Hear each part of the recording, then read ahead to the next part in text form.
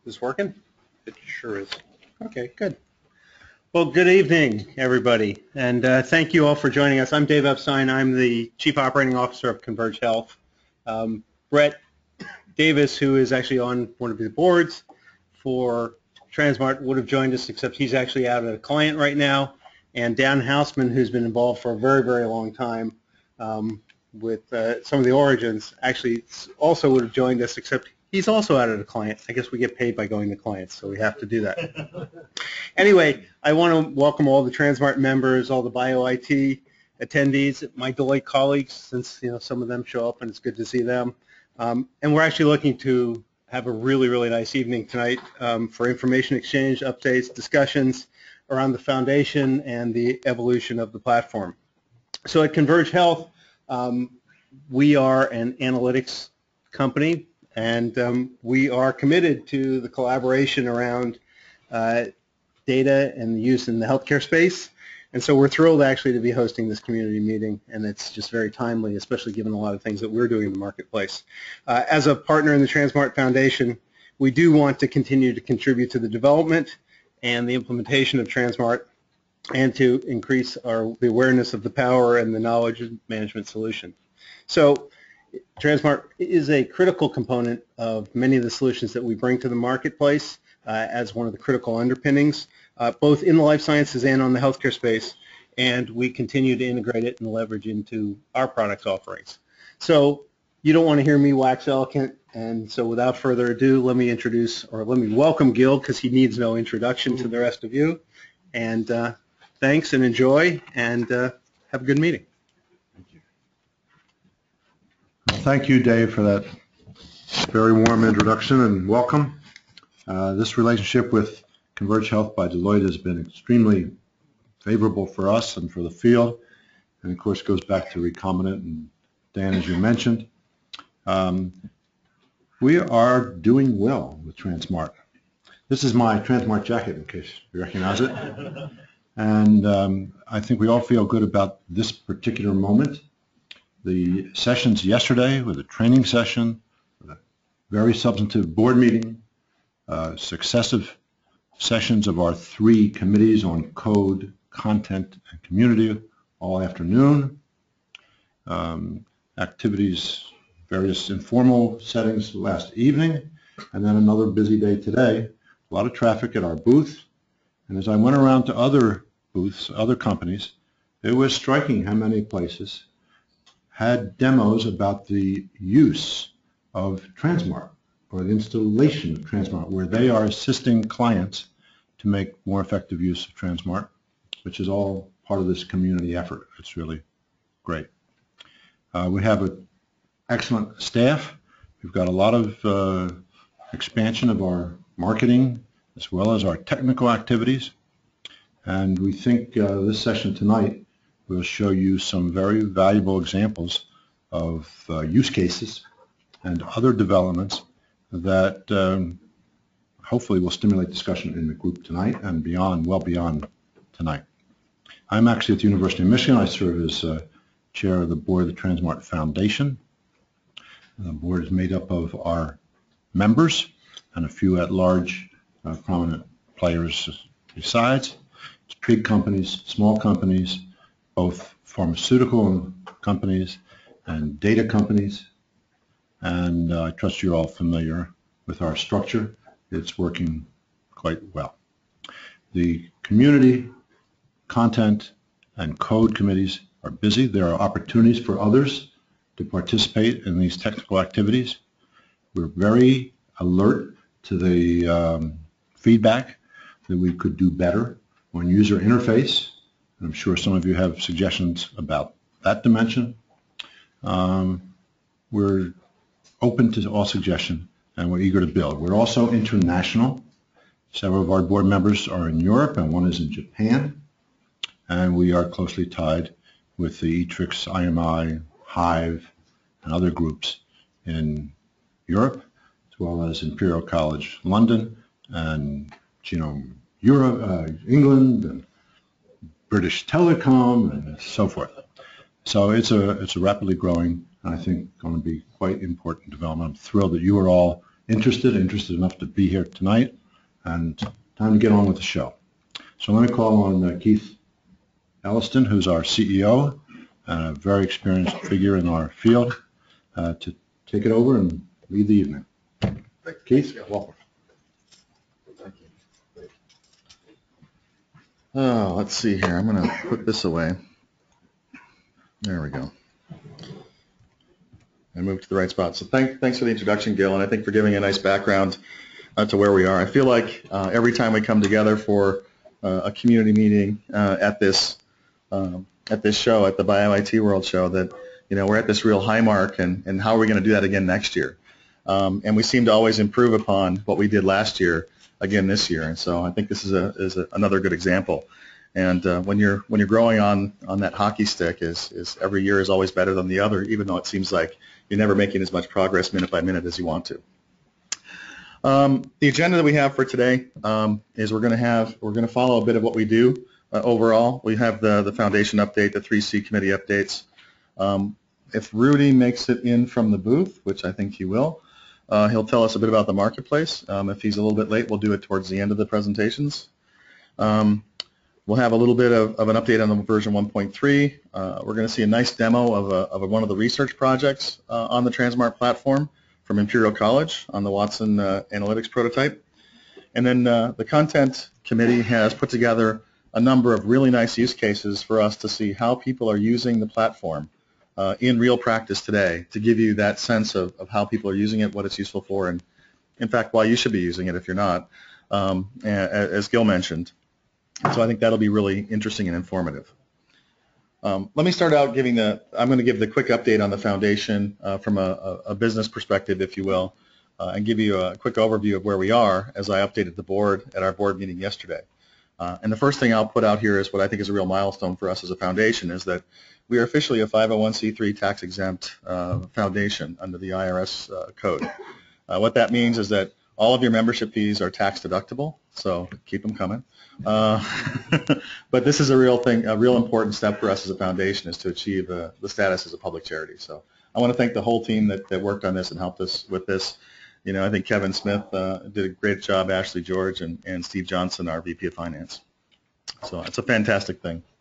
Our membership is growing. Uh, in the last quarter, we had three new silver members join us. Uh, those are, are Dexter, which is a, a company in France.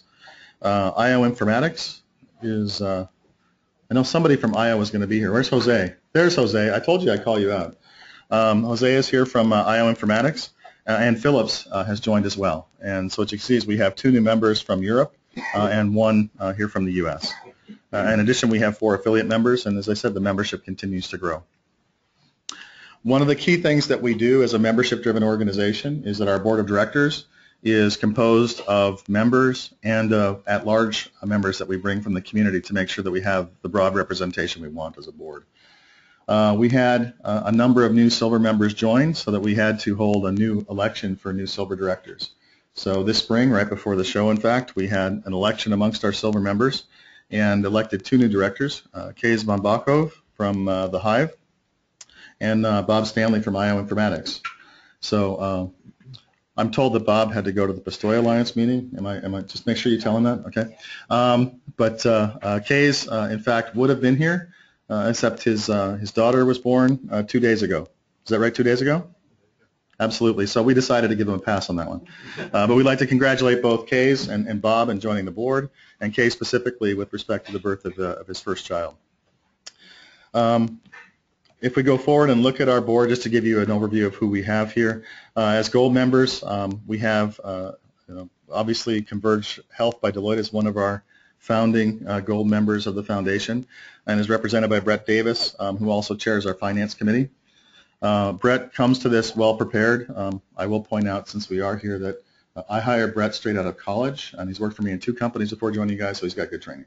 Um, but Brett has been a real great uh, person to have on our board. His experience not only here but with the Personal Medicine, Personalized Medicine Coalition has been terrific.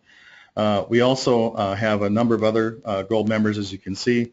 Um, I'll mention uh, the chair of our uh, no, Nominations and Governance Committee, uh, Matteo Di Tomaso, who I, I, don't see Matteo here, but he has an excuse. Um, who chairs the, the governance and nominations, which is one of the key aspects that manages our elections, changes the bylaws, et cetera. So we have a, a great board with lots of good representation.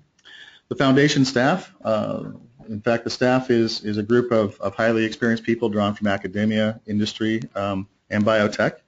Uh, I am the CEO. Kevin Smith over here is our Chief Operating Officer from University of Michigan. Uh, Ashley George from GSK is our uh, CFO. Uh, Ashley also is the CFO of the Pistoia Alliance. On the management team, we have uh, Brian Athey, who's our CSO. Uh, Yike Guo from Imperial College is our CTO. Uh, Michael Braxenthaler from Roche and Pistoia is our VP of Marketplace. Uh, Rudy Potenzone, who I see still hasn't made it in, so his slides might have to move to the back, uh, is our VP of Marketing. Um, and Steve Johnson, uh, who also sits on, a, on an autism board, is our VP of Finance. This past year, we initiated our what we call the Transmart Foundation Fellowship Program. This is not just a, where people get together and sing Kumbaya. Um, it's really modeled after the Linux Foundation Fellows Program, uh, where we have staff that the foundation supports to do key work on the Transmart platform. Um, our first uh, Transmart fellow is in the code space, is Terry Weymouth. Where's Terry? I saw him over, oh, Terry's over here. Um, and we have uh, uh Jamie Katisha, who is a, a, real pioneer in the bioinformatics space, who's working with us as well. Uh, Peter Rice um, is, uh, is also joining us to spend time with us and share his time between the foundation and eTRIKS. And then uh, Jay Farron, who is our uh, QA and release architect, has uh, recently joined the foundation. So we are building out the team in areas aligned with our code, community, and content activities.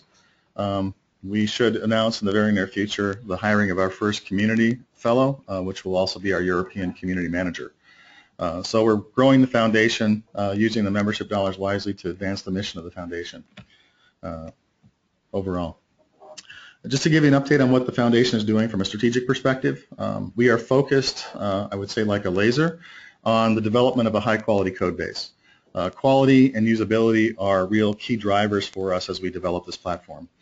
Um, we are working on those quality initiatives within the, the 1.2 release. We have issued uh, four patches to the 1.2 release so far, and we will issue uh, at least a couple more uh, patches as we go along in development of our quality program.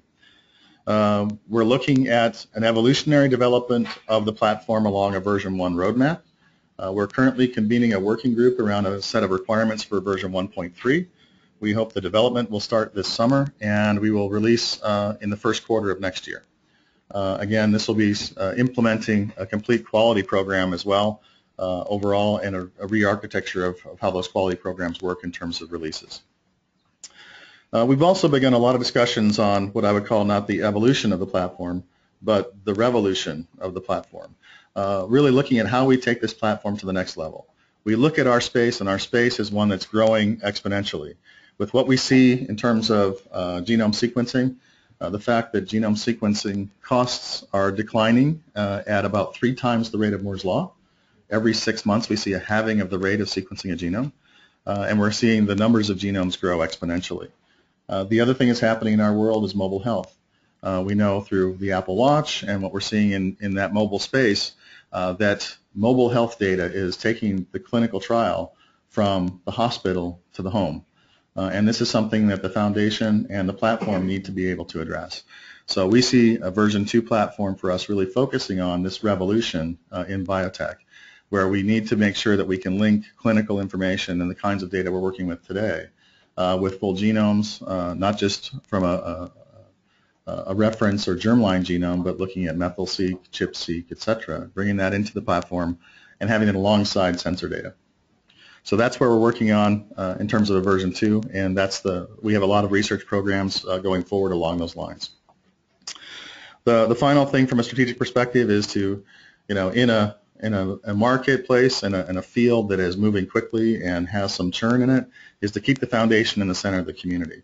Uh, we work hard at being this, at being more effective and facilitating the efforts through our 3C com uh, committees, uh, being cooperative and, and not competitive. I always talk about the foundation being the mortar between the bricks of our community. And that is we're there to support and build the community, but the community is built on the efforts of the members of that community. And that's really our place. Uh, one of the key initiatives we have in that area is the marketplace to help bring people together to know what they offer and if I have a project where I can find resources. Uh, and that's a first step along those lines of further enhancing and growing our community. And then we continue outreach. I think uh, you'll probably have noticed that we had uh, an exhibit here at the BioIT World Show. That's the first time we've exhibited here. Uh, we also exhibited at the Molecular Medicine Tri-Conference, and uh, we'll be exhibiting two to three times a year as we go along to bring the message of Transmart to the to the mainstream community. We not only want to attract the, the developers and, and early adopters to this platform, but really focus on the end users, the translational scientists, the, the, the various uh, providers, et cetera, that need to use this platform as their business analytics for translational research. So we continue to grow that. I do want to point out the, the quality initiative. This is a real key part of what we're working on, and that is uh, we've, we've brought on board a commercial experienced QA architect to help us understand exactly how we release commercial quality software. And that involves everything from you know the early development of the platform through unit testing, functional testing, et cetera, to ensuring that we as a community, as we do our various implementations and find bugs, can report those in a, in a way that we share those across the community. And then as we do our own bug fixing, that those bug fixes roll back up to the platform, get submitted through a testing process, and become part of a, a release that improves the stability and capability of the platform. That's a real uh, key challenge for us, and that's one of the key things that, that the foundation can bring uh, to this community. Uh, so Jay Farron, uh, who unfortunately couldn't be here tonight, uh, but Jay Farron, uh, who's come from EMC, Softscape, and others, uh, has joined us to, to be the leader for that effort uh, going forward. as I said, the, the, key steps here, and I won't go into these in great detail, but we're now in the analysis process where we're looking at all the key elements of the platform. Jay has done interviews with a number of the key development partners here, and we'll continue that process uh, identify what requirements we have, develop a re release planning process, etc. And then uh, we'll go through and modify the sets of tools and capabilities we have to align them with that architecture. And then finally, uh, not only have a roadmap for the platform, but a roadmap for the improvements and, and the quality platform so that we know how we're going to incrementally continue to improve this platform in terms of quality and capability. Our goal is to have a platform that rivals any commercial platform in terms of quality and reliability. Other initiatives that we've undertaken, uh, we've been working with uh, with our partner at Michael J. Fox Foundation. We have Ken Kubota here uh, from Michael J. Fox uh, to to really work on how we use the platform, not just how we develop the platform, but how we use it. Uh, the Michael J. Fox Foundation has spent over $100 million funding various longitudinal clinical trials in Parkinson's disease and has data that they want to make available to the community and to find the best ways to use. They've chosen the Transmart platform as the means to do that, and we've been working with them not only to help them with that process, but to implement these various datathons to bring the best data scientists and neuroscientists together to think about and work with Transmart in ways that we perhaps haven't thought of before that are really driven by the scientific challenge. And so we're really happy to work with Ken. We've been working on this data datathon planning for some time. We hit snags here and there. One of my, my snags that I'll, I'll point out is that uh, we're all still trying to identify what open means in open data. We know what open means in open source, but we don't necessarily know what open means in open data. And, and Ken and I are, are forging some new ground in that. So uh, we will have this datathon uh, sometime in the June timeframe. Keep your, keep your eyes open. If you want to participate, we're going to limit this at, at 20 data scientists to participate, but if you have an interest, you know, see me or see Ken. Uh, one of the key things that's happened along that lines is that uh, Ken and, and, the foundation and, and, Thomson Reuters have all worked together uh, to load uh, the PPMI data set and other data sets, including ADNI, uh, LRRK2, and BioFind, into Transmart version 1.2. And this is, you know, uh, one of the foundational Transmart 1.2 implementations. Um, we submitted that for a potential best practices award. The foundation nominated them. And uh, I'm happy to say that they won uh, the Judges Award as a best practice. So Ken, why don't you come up and just say a word.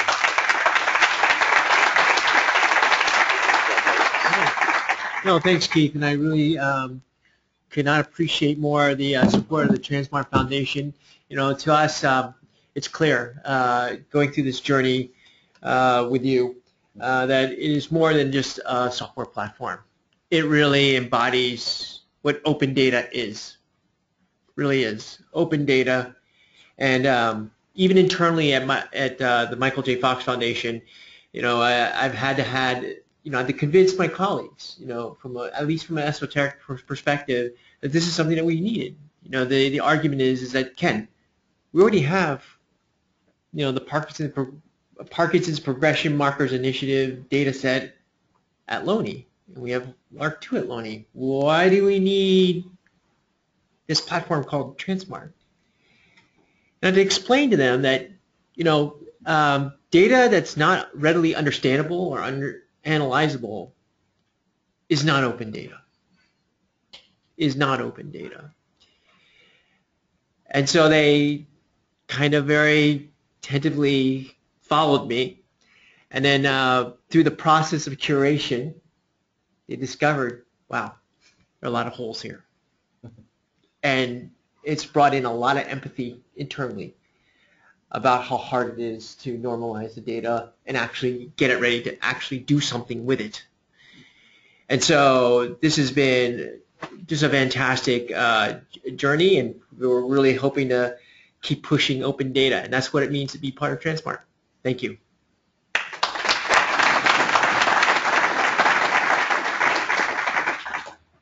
Now, I'll just point out that that's the, the third best practices award for the Transmart platform.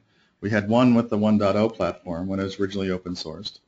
We had one with the 1.1 last year with the UBioPred project, and our third with uh, with uh, the Michael J. Fox Foundation and PPMI. So we're ho- we're hoping to keep lining those up. You know, so each new version should be another award. So we'll hope with that.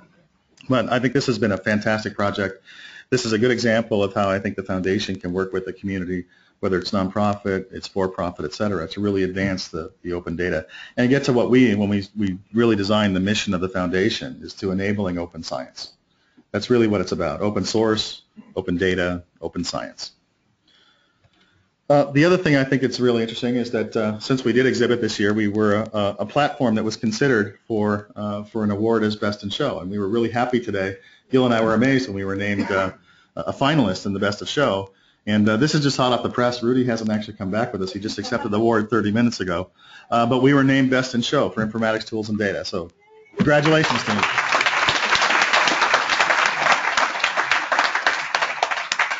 So I, I think, again, this is just recognizing the power of community here and the community that's growing around the platform and working together to get here. What I'll, I'll point out is that the foundation, you know, itself does not write much code here. I mean, with, with Terry on board and, and with Peter on board, we write some code. Uh, but this is really a community-wide effort. When we developed version 1.2, there were over 100 individual developers who committed code to that production release, 100 independent developers. Uh, that, I think, is really showing the power of community. So I want to thank everybody that contributed to that. Uh, with that, let me not take any more time. Let me turn this over. Um, Kevin, I think uh, Sherry Sao is up next. Yes, so. Sherry, so let me don't bring- introduce, I'm sorry? Why don't we bring Sherry, Julie, and JL up because they're going to be doing very brief updates. Let's do that, and, and I'll give them a quick introduction. So one of the key aspects of what we do um, in terms of operating with the community is have um, our 3C committees. And, uh, and we play music with, the, with our co-chairs. Come on, Jay. You can bring your beer. It's okay. Don't try to be too cool for school. but uh, it, this is a really important aspect of how the foundation works with the community. And what we have is, is a management team member and a community member that co-chair uh, our 3C committees. And uh, each of the, the things that we do as working groups, our architecture working group, our uh, product management working group, our ontologies and semantics working group, all are organized under one of the 3C committees. One of the ones that's been most active has been the community committee because we've been really engaging community. Uh, so Sherry Sao and, uh, and Kevin Smith uh, co-chair that committee, and Sherry is on behalf of the community going to give us an update. Uh, the content committee, um, I'm really pleased to have recruited Julie because she's been a dynamo. And uh, especially when we get before board meetings, it's like I spend a lot of time on the phone with Julie. Um, yes, Julie, I'll do that. Yes, Julie, I'll do that. Yes, Oh, Julie, I'll do that. I think a lot of you know that feeling. Um, but Julie has been a force of nature in really organizing what we do in the content committee, and you'll hear some wonderful things that she's helped facilitate for us as a community. And then finally, um, where would we be without the code committee? The code committee is uh, co-chaired by Jay Bergeron uh, from Pfizer and eTRIKS, uh, who co-chairs that with Yike Guo, our CTO. And the code committee, in fact, is the, is the group that has been really working very diligently in the areas of architecture, of product management, quality initiatives, and, and then bringing forward the platform in a way that is really useful to scientists. So each of them are going to give you a quick update on what the committees are doing and go from there. But I'd like to introduce them and thank them for their work.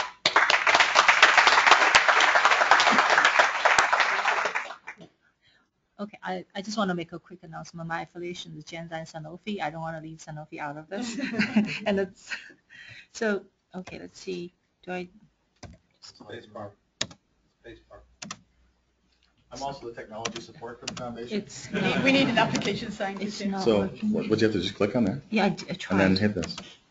See, that's magic. Yeah. All right. Anyway, I only have five minutes, so um, the entirely, uh, I think the community um, uh, committee, the, the goal is really, you know, first of all, stabilizing the, the community and really grow the community. So I'm just going to give us a few updates on in terms of what we have done in the last year or so. Uh, first of all, we actually form all these different working groups. So I, I'm not going to read through all the, the working groups. And I, I was hoping try to, is, is the website online? Sorry. Um, and a number of things actually is, is reflected on this um, new website, uh, not really new website, but it's a little bit more remodeled. We're trying to really focus on you know, the, the focus of each community components to um, for the right audience. So we have a one for specifically for research. Everything related to research information is up there. Overview, use cases, publications, uh, the public data sets and training stuff. So I really encourage you to go over there. I'm not going to go through everything. And what actually the, the feedback we got from Tuesday or yesterday is actually, you know, we have a lot more use cases than what we, we have, and we have a lot more content in, in all of these um, uh, different areas.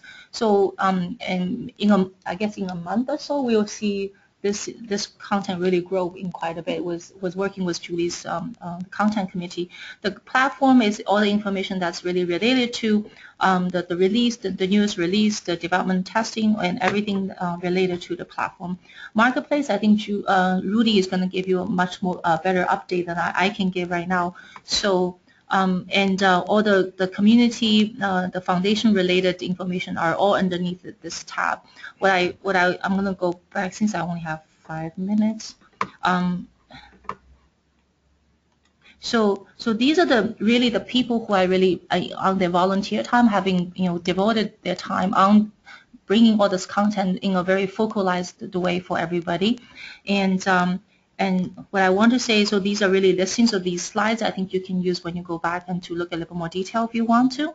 Um, in terms of uh, what I want to say is we really want to hear from you, um, both in terms of feedbacks and ideas and materials for all the stuff that I've uh, already mentioned, use cases, technical issues, and the community um, information dissemination, datathon not only uh, related to micro, the MG, um, the um, the the Parkinson's disease uh, datathon, uh, the Michael J. Fox Foundation data datathon, and uh, also the, the I guess follow up ones that we're going to have, and um, um, you know just really the feedbacks, ideas, and also in terms of we really need your volunteering and your um, your ideas for supporting the working group. So my email and Kevin's email, I just you know uh, delivered put over here. So please write to us uh, in using these different channels. Thank you.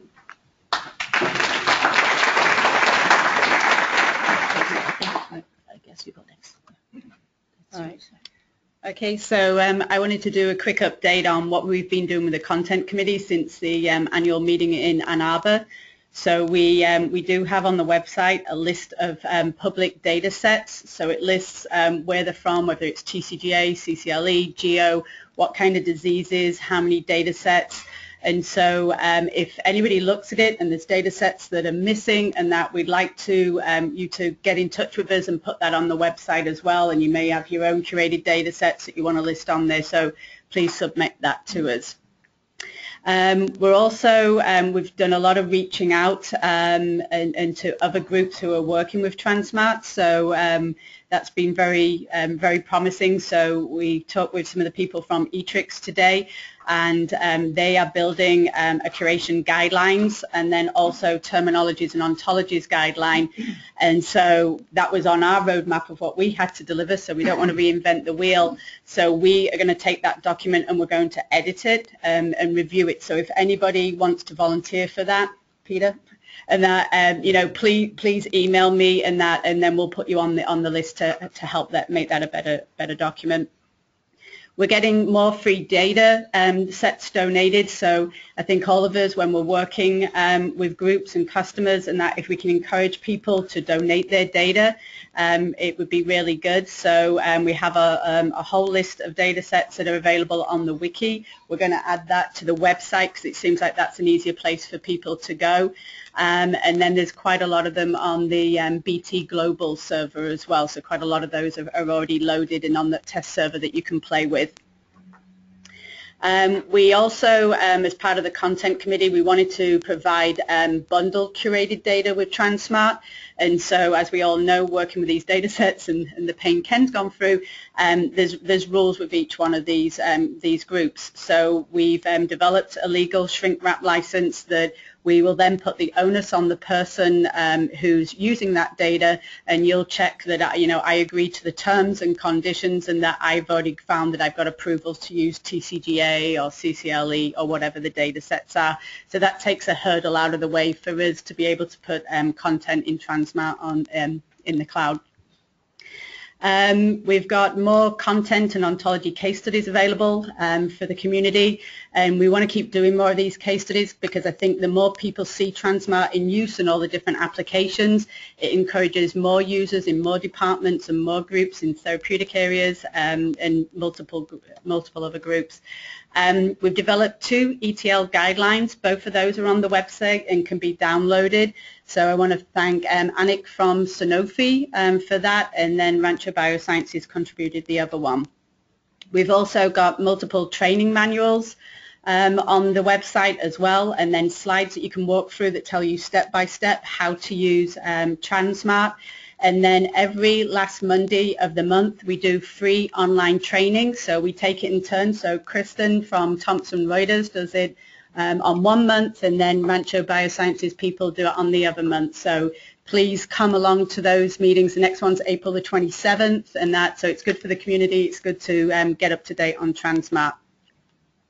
We're also working on technical papers. So the foundation's got a paper coming out um, um, in a couple of months' time, and then also Rancho Biosciences is working on a 1.2 paper to talk about the installation, how it works, and you know, pro, you know, pitfalls and that that you can um, can learn from.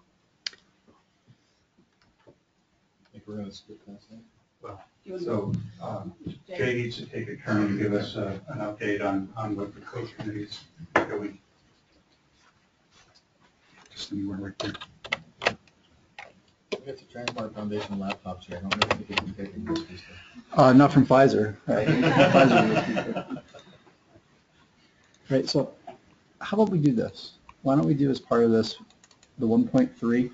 Sure, where'd you guys go? He needs the support. Just, okay. Is this- is this one? Yeah, I always stand by you. well, you always stand over me is what you do. All right. I can hold your beer for you. I think, look, we're, we're cutthroat competitors, so I don't think, I don't want you, I don't want you, Keep your uh, enemy closer, right? yeah, that's right. okay. All right, so we're going to do, uh, actually, the report back from the code committee is going to be about yesterday.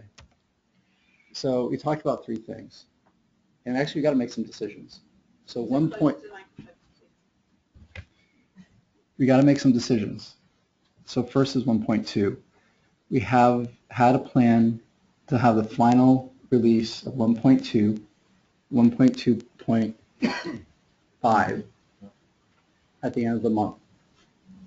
There are 100 bugs plus that Terry tells me are still in the system. They need to be rationalized. We don't know if they're actually real, well, we don't know if they're actually real bugs or not.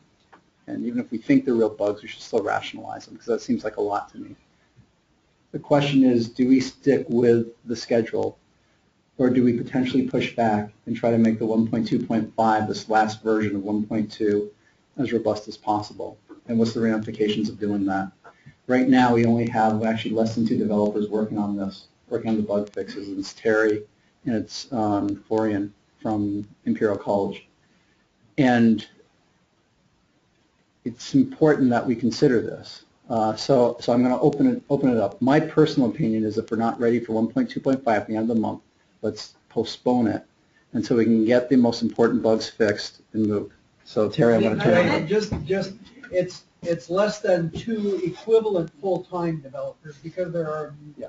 many more than two developers working.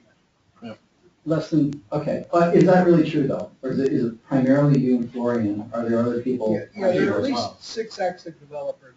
All right. Their equivalent contribution is Okay, so what do we do, Terry? What do you want to do? Let's vote. We have, we, we have to figure out how to complete one point two, no problem there.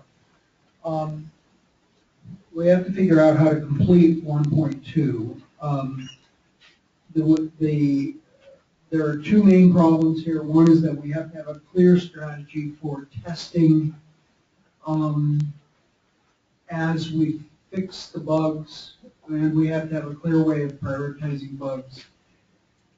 I think that we're, that in, if we can't accumulate more contributions in terms of coding, if we stuck with the current coding rate, then we're looking at a couple months at least. All right, so let's, let's, so there are a couple things we can do. So Jay is putting together testing process that we can potentially try out with one point two. We talked about this yesterday. Does it make sense to delay, try to include this first process testing with one point two point five? Get us the time to rationalize the final bugs. Get us some time to figure out which ones we want to tackle and tackle them. So Hugo, have we had Pfizer because we fixed some bugs here, right? So has Pfizer put all of our stuff back into the, into the, into GitHub as a separate branch? At this point, at this point, it's in a different branch, but uh, it can work toward merging the branch with the latest. Okay, so that's Pfizer's. Has anybody else done any, any code updates to 1.2 that we need to be aware of? Okay, so, so does that sound reasonable to everyone? Okay, have you qualified the defects by severity or, or anything like that? Do we know, you know, are there ten showstopper defects that just need to be fixed, or That's what you is need to find list out. hundred a hodgepodge? I don't know. I can tell you our experience with Pfizer, right? Because we told everyone. We came in and say, wow, we had 200 bucks. And then, you know, all of our, my heart kind of stopped and then, because basically, we, yes, we had 200 bugs in our test scripts, you know, from our, from our testing. But some of those, they're not all defects. Some of them were changed test scripts. A lot of them were, okay, well, did we, did we do it right? Was the test script correct? And we fixed the ones that we needed to fix. We've been using 1.2 from, since February 15th, and it's working, right? And we fixed some really key bugs that we want to bring back in. But we have to do that for this list of 100, because my guess is that whereas maybe 10% of the ones that we really need to address out of our 200, maybe it's the same here. We're not looking maybe at two and two or three months. Maybe we're looking at something less if we can kind of focus and get it done. And we can need help not only in terms of people with hands on keyboards writing code, we could also use some help in rationalizing this list of bugs. So anyone, I know there's a lot of groups who are doing 1.2, right? Let's see if we can get together and do that piece of it. Yanni? So I'll be the first one to admit, last, last version round, we to do the back and forth with Terry, rationalize the bugs, but, uh, that hasn't been happening recently, so I, May onwards, um, I'll, I'll fully commit to, to the, the cycles of rationalization again. Okay, so, so let's do this. I don't want to bring this, bring this meeting off course. Do we have a meeting that we can all get together? When's the next meeting? After May 1st, right? Let's say after May 1st, we can get together and start doing this. Do we have a Tuesday session that we can, the first Tuesday session after May 1st, we're going to make this the agenda topic? Right? We still have those Tuesday sessions? Provided it's not a community meeting. Or even if it is a community meeting, that's even better. And not the first Monday, the first Tuesday, so we've gone. Okay. The third. And I think some of the pharma companies have actually been doing their own ra- rationalizing table of like what are go and no go for them moving to one point two. So, so let's do this. We're not going to release 1.2.5 at the end of the month. We're going to do the rationalization, and we're going to take stock and try to figure out which bugs we're going to fix, and try to hit it, do what's most important, and then, and then try to complete out 1.2 and start, and then at the same time, we're going to have to start thinking about 1.3. Right? Everyone good with that? Yeah. Okay, so let's, let's move on to 1.3. Can I ask you a question? Oh, yeah, yeah, absolutely. Hey, um, so I don't know how common the hundred bugs uh, situation is, um, but I know people who have jobs that are smaller than managing a hundred bugs, like full time. That's that's actually work. Is that like? Yeah, it- it's work. Yeah, It was work for us. It was work for us at Pfizer, but we got, we got through it. And I, I'm pretty confident we're gonna go through this as well. So it, it just it seems to me if that's a common occurrence, then um, you know that's it would be useful to have someone who's appointed to group the bugs always. Here's, here's, here's why we have to rationalize though, right? Because if if ninety-five percent, if ninety-five of those, because their test scripts are wrong because they weren't updated correctly point two, which is our case, which is a lot of our case for Pfizer, then maybe it's not so much of a problem. We gotta figure that out. Right, so let's do that first and then, Yeah. then then we'll see. I think it's important to say it's a hundred reports. Right, it's not hundred defects, Yeah. right? It's hundred, all right, so bug, uh, It's under all right, Bug reports. right. And there's probably duplicates, like, so there's probably duplicates as well, right? Uh, yeah, yeah, I'm sure there are. And I would agree with Jay, with the impotency demand trades, the research project. We also just went to deployment with one point two and there are no showstoppers for us. eTRIKS has been on one point two for months, right, Yeah. for our projects. Months, months, months, last year, right? So So- don't expect any kind of. So convert people, so convert, and we're gonna try to, we're gonna try to get the, the last remnants of, of what, whatever's left with this last version of one point two. But, look, we got a bunch of people using one point two, it's ready. Okay, one, can I move on to one point three, anything else? All right, one point three, so basically what we wanted to do is come up with the requirements today, or was it next week, the twenty-sixth? Oh, I said, uh, the twenty-sixth, so actually it's next week, that's great, I'm glad I did that, wow, that's project planning. Planning to be late, okay, so what, what we'd like to do, so people who don't know what we're thinking about one point three, the pharmas have got together, we have some, we have some near-term requirements that we'd like met. Rather than make it a version of one point two, we'd like to make it a one point three version, a new version. And what I have on the next, basically, because there's some time out, time pressure on this, and we have to figure out how we can collaborate in, in moving this forward, and we want to use the foundation as that, that leverage point. So if we were able to start, say, in mid-June, we can get some of these requirements done, hopefully relatively lightweight requirements, a set of them, and get them out by the end of the year, and put us in a better position to do things like handle genomics, which, which a number of us are, are, need to deal with. So what I've done is taken some of the requirements, and instead of having, for tonight, instead of having the individual requirements, I call them areas of attack, right? Somewhat prioritized between the interest, based on interest. First one is genomics, right? A lot of us need genomics. Pfizer needs it. Genomics. England needs it. Lots of people need it. This is one thing that would be great to have as a 1.3. And there are some ideas that we talked about yesterday in terms of how we could implement it, but this being an important requirement. Second, there are advanced workflows that a number of people would, would like, maybe not so much for Pfizer, but others longitudinal data support, which I got a question if it's already done, right? So it'd be interesting to hear what, what requirements are not met with 1.2. Coupling to cBioPortal, links to reference data, REST API extension, data security, new data types, and I, I do have to ask if that's resolved as well, because I keep seeing proteomics and RNA-seq, and I thought we've kind of done that already. New ETLs, which we talked about yesterday. Sample tracking, interesting, and I'd like to know what Merck needs beyond what's in the sample explorer. Simpler upgrade paths, which I think we all agree to, is sort of general, and then some UI updates. I'm not sure we can do all of these, in fact I doubt it, but I've, I've listed it in what I think is a relative order of priority. For right now, are we missing anything? Um, I think this, um, one is the I2B2 Yes. integration part, I think the hackathon is done already, and we just need to pull that into. Right, okay, thank you, thank you. Thanks, Sharon. Actually, I can, I can walk around through here. Yeah, You, you handle that side of the room, I'll handle this side of the room.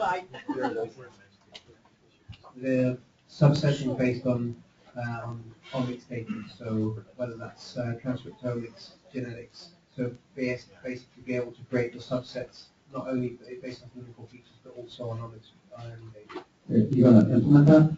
Um, we're already, we've already got a, a plan with um, CPM and TraIT and eTRIKS to start to, um, having a plan on the 6th of May. So, and we'll, we'll report back to the foundation on that. All right, I'll hold you to it.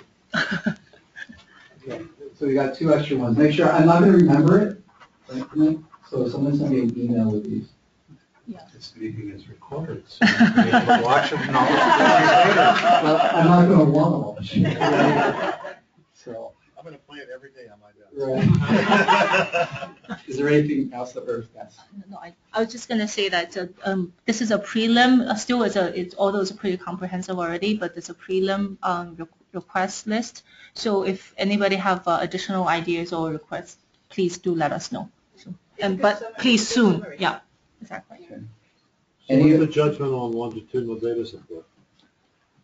We need to figure out whether that is actually already implemented. No. Oh. I, I I think- got some clarification Uh, on this issue today. So, even I have to do some work sometimes. But, uh, no, the longitudinal data issue is one that it's, the, the platform supports longitudinal data, but I'm told there are like at least five types of longitudinal data. And the platform supports one out of those five types. It depends on which types you're interested in. So if one looks at simply sequential data, this happened before that, et cetera, uh, that's one issue that's, that's dealt with readily.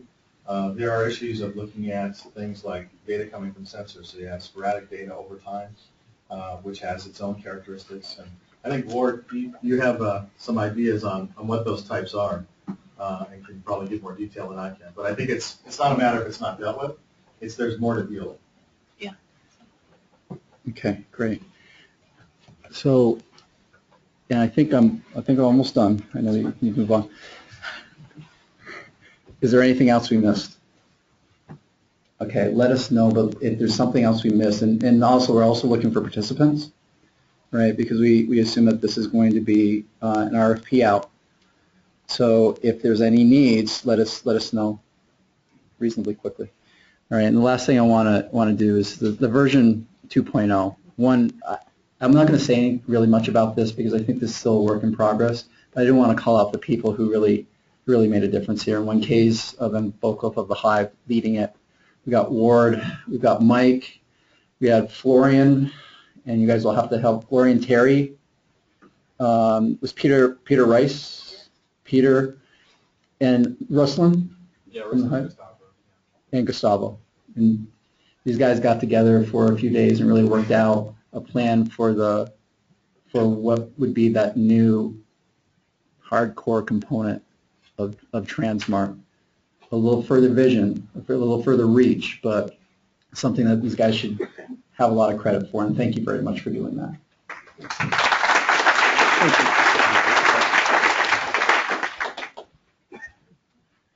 Thank you, Sherry, Julie, and Jay.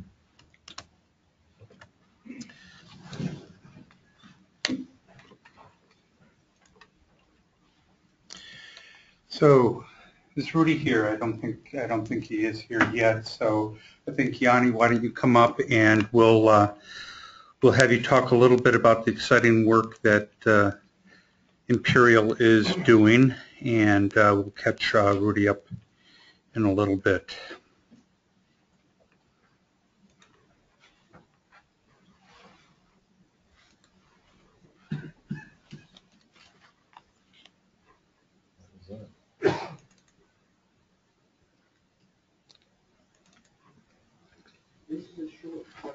Oh, no, no, turn, you're going to firstly hear my voice anyway, so uh, hearing two voices is already too bad, too much. So are we, are we presenting full screen? That should be okay. So, um, so I'm just going to be presenting some interesting work we've been doing in collaboration with uh, our partners at IBM. So this is just a, a prototype integration that we've been doing with um, between Transmart and uh, Watson Content Analytics. And um, I'd like to thank uh, one of the main members of the project management, Jane Yu, so over the, that's been helping out with this. So what we what we thought is that um, Transmart is a brilliant tool to integrate data and to start um, and start analyzing it.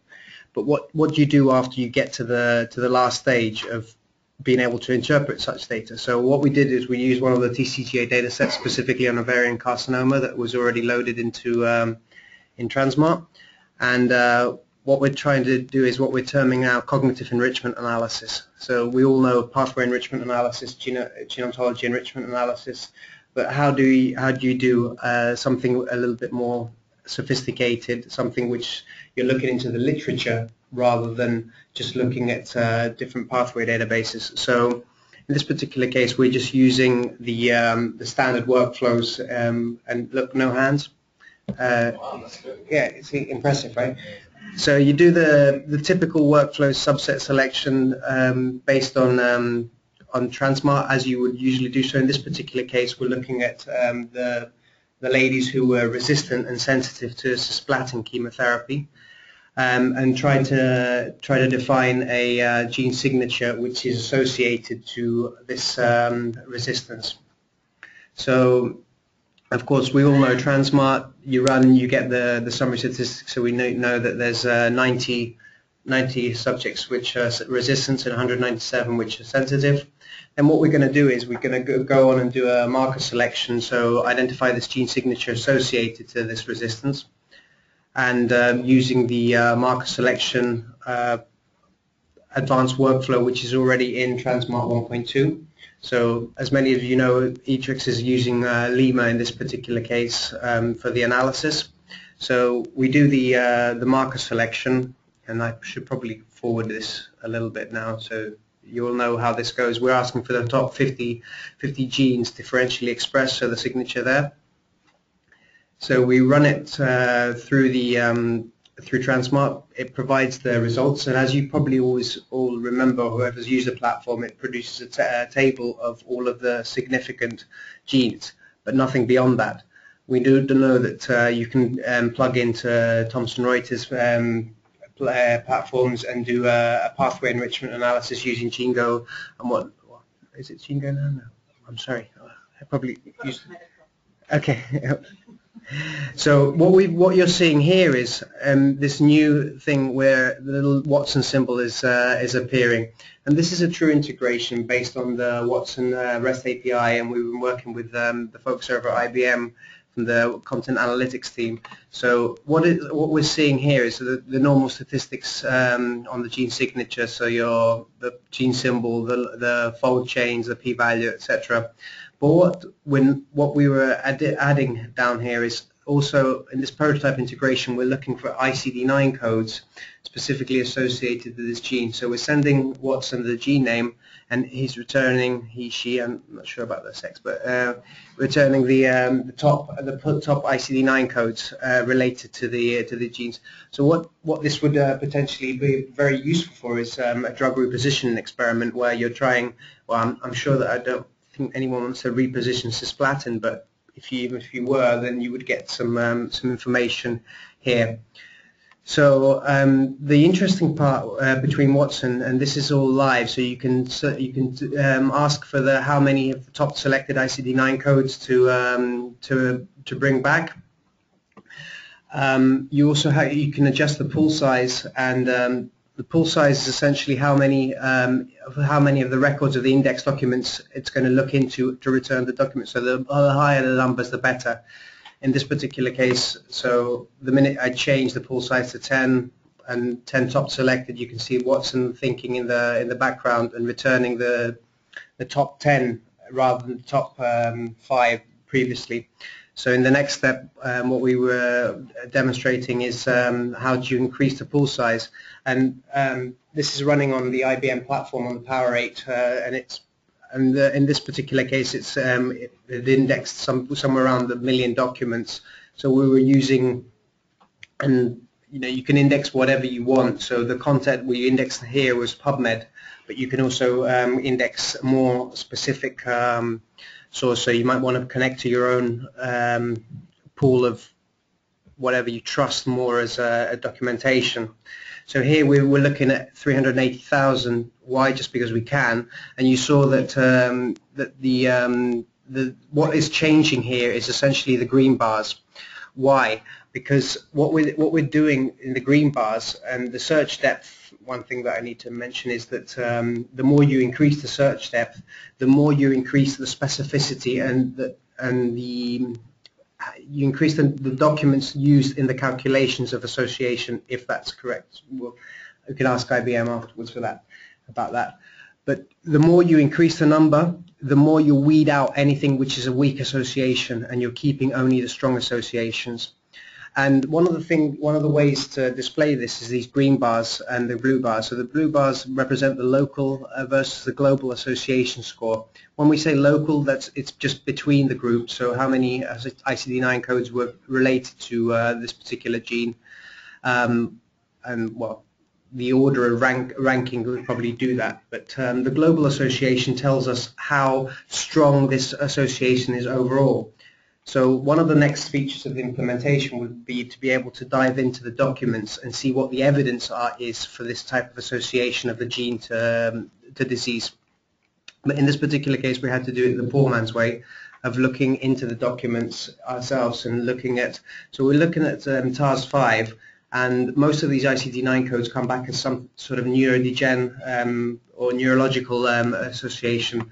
So when you look in PubMed about that, um, we we saw that uh, the first thing that it's returned is the come on.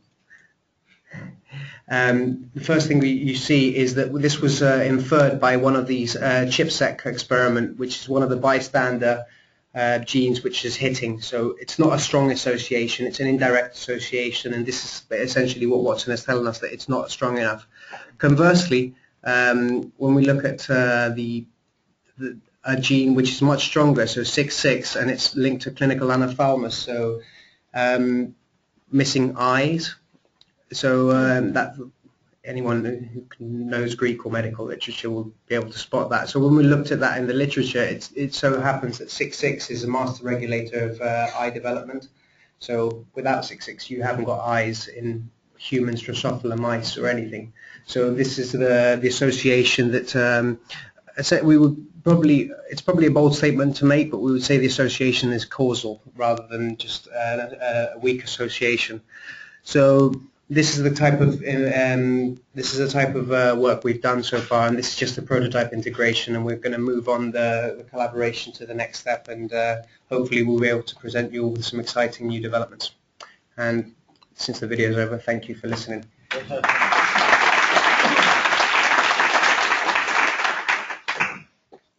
Great. Did you hear anything back from Rudy? Not yet, no. Okay. Julie, why don't we dive into, well, actually, before we do that, Jay, is there anything more that we need to cover on 1.3 tonight? Okay, great.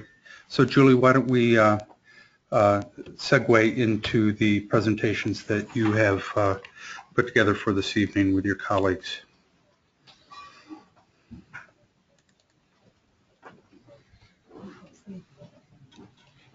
So. Do do you want to make introductions Yeah, since okay. you organize this? It's all my fault. Um, so yeah, so we've got a series of presentations that we're going to um, run through and that's showing use cases um, of various applications with Transmart.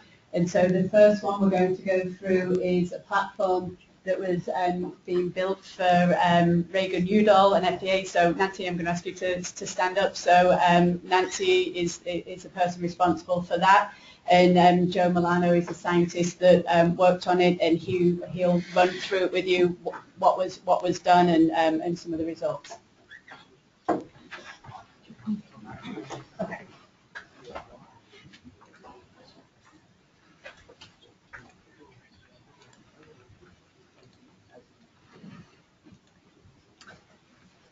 Okay. Let's see. Oh. Joe, do you want me to just jump to, I don't know how to, oh, there we go. Okay, so before uh, Joe gets up, uh, I was going to say a few words about Reagan Udall. I'm Nancy Beck. I'm with the Reagan Udall Foundation, and for those of you who don't know, Reagan-Udall is a nonprofit set up by uh, Congress to further the scientific mission of FDA. And the project you're going to hear about today is uh, PredicTox. It's a public-private partnership uh, aimed at increasing uh, or uh, improving drug safety assessment to ultimately reduce adverse events in patients. Uh, this is a major priority for FDA as well as uh, pharmaceutical companies, and you'll see some of, and, and many other uh, stakeholders, you'll see some of our partners uh, in this uh, project at the bottom. FDA, Pfizer, NCI, Rancho is helping us with this, and I'm happy to be working with Transmart um, to do this project as well. So uh, basically the goal of the project is to apply systems-based approaches to better understand adverse events. So to get a better mechanistic understanding of how uh, adverse events arise and then develop predictive models um, to uh, help prevent them and, and, better assess drugs. So uh, for our pilot project to uh, kick this whole thing off, we decided to go with one uh, class of drugs and sort of one class of adverse events. So uh, we're looking at uh, tyrosine kinase inhibitors, both uh, large and small uh, molecule inhibitors, and um, uh, left ventricular dysfunction. Um, again, to get a better understanding of the mechanism underlying uh, these, the left ventricular dysfunction. So we chose, chose Transmart for many, oops, there we go. Uh, many reasons, not the least of which is that it's open source, that you have the ability to um, to integrate many different types of data. So we're looking to collect uh, molecular data, preclinical, pharm tox data, as well as clinical data here to do this systems modeling. Um, so we're just getting started. We're collecting the data. We're working on our ontology of cardiac adverse events. Um, and starting to set up governance for this project. Phase two will be more of the mining and modeling. Um, but to to get started, we're right now we are collecting um, collecting data. We have an agreement from Pfizer uh, for data on sunitinib. We're working with other companies to um, gather data, and we're also gathering public data. And that's what, uh, so Rancho is helping us with this data collection and curation and setting up our Transmart instance. So that's what you're going to hear about from Joe. Um, from Rancho, and he's developed a use case to help us show uh, Transmart capabilities to some of our potential partners who may not be familiar with the capabilities of the system. So here's Joe. Thank you, Nancy. So um, for those of you, and I know I'm speaking to very few who are not Transmart initiates, um, Transmart is a data warehouse that um, that enables um, analysis and visualization of um, uh, many different data types um, from clinical trials, also non-clinical data as well. Um, it, it uh, contains uh, both categorical and numerical data and also omics data, which Transmart uh, terms as quote-unquote high-dimensional type data. Um, this, this slide was uh, borrowed from Tatiana Casanova, who is, who's well known to the Transmart community.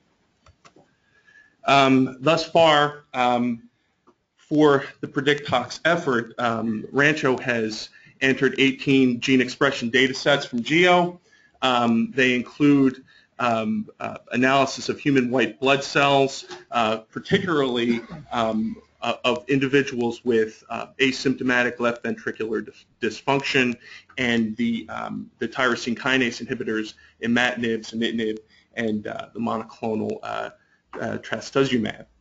Um, there are also preclinical studies with gene expression from rat heart tissues dosed with imatinib and one interesting aspect about the, um, the preclinical data that was entered in this instance of Transmart is that this is from the original um, toxicogenomics database from Iconix.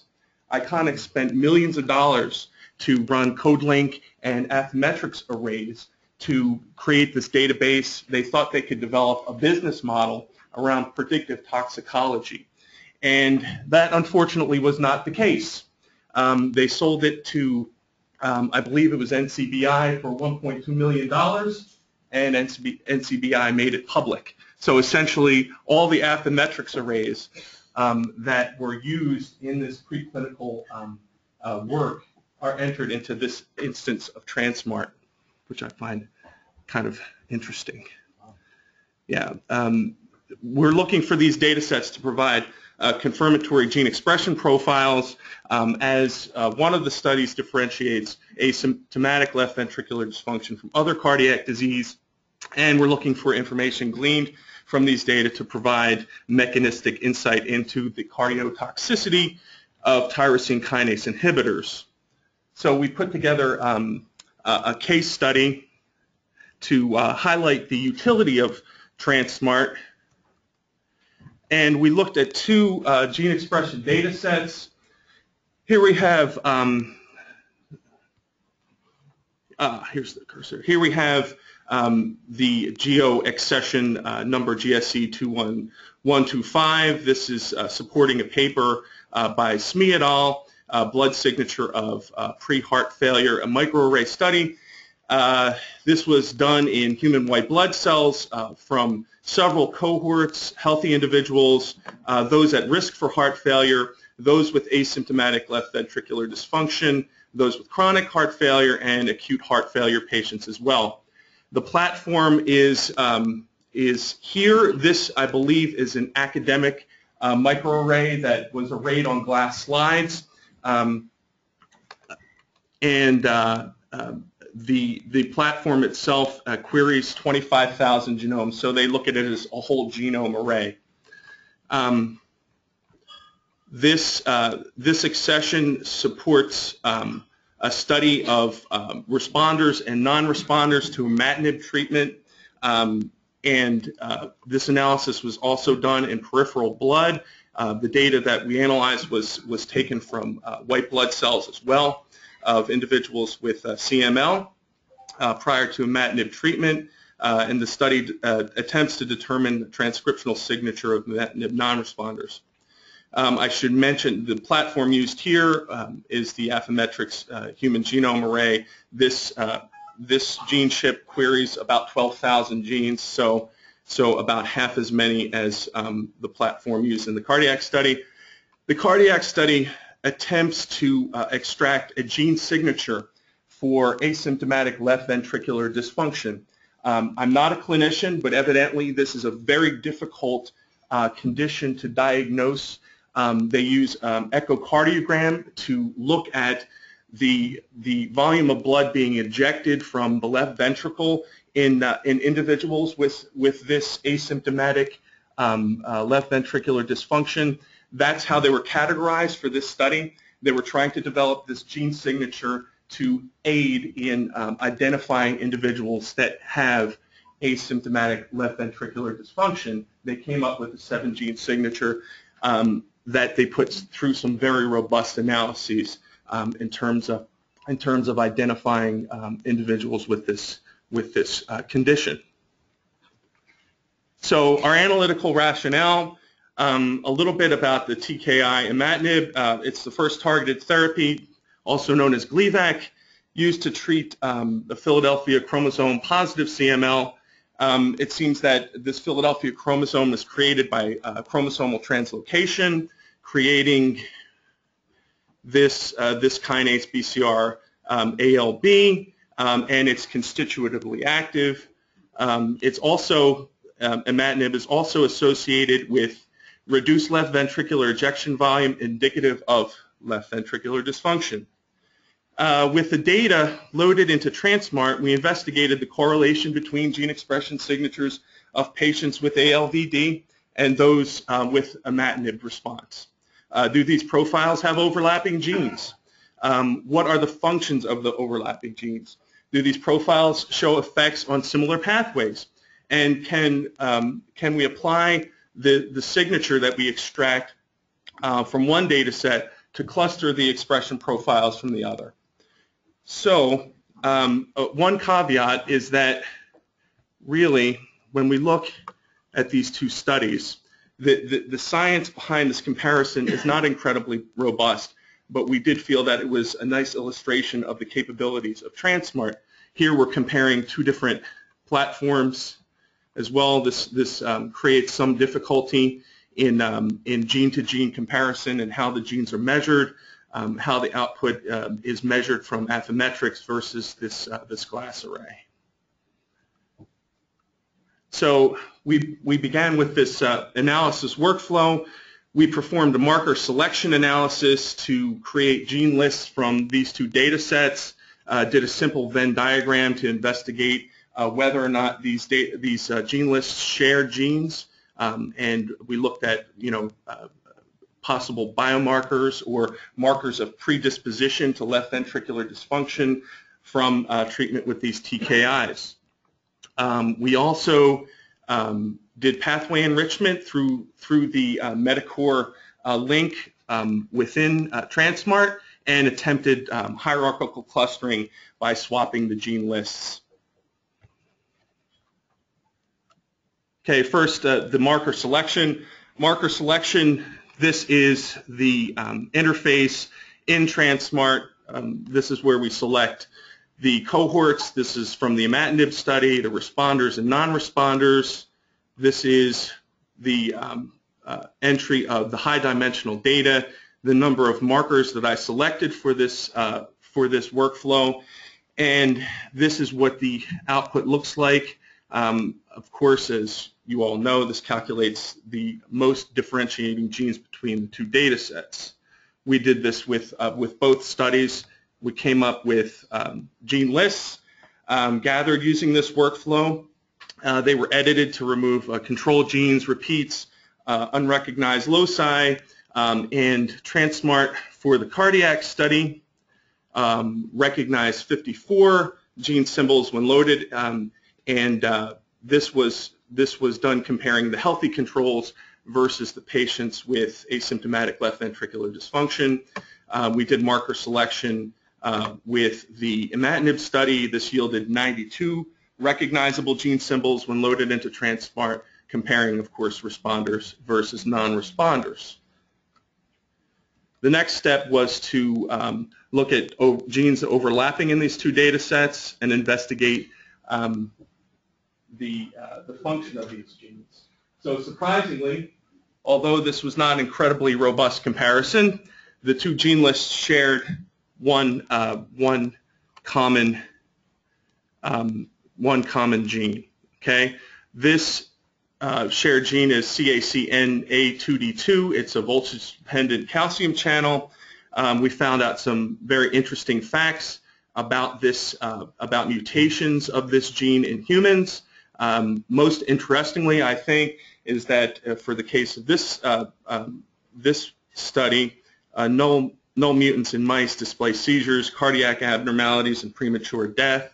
Um, it's also known to promote tumorigenesis. A simple search in PubMed trying to link this calcium channel and left ventricular dysfunction uh, yielded no results. So we looked a little bit more deeply into the, uh, the gene expression data for the cardiac study here and for the imatinib study here. Uh, for the cardiac study, there was a marked um, reduction in expression of this calcium channel with a high degree of significance. It also came up in the list for the imatinib study. Um, it's slightly downregulated in patients unresponsive to imatinib treatment. Uh, struggle to call it really significant, but uh, okay. Um, so, so the gene expression data for this calcium channel so shows statistically significant difference in these comparisons.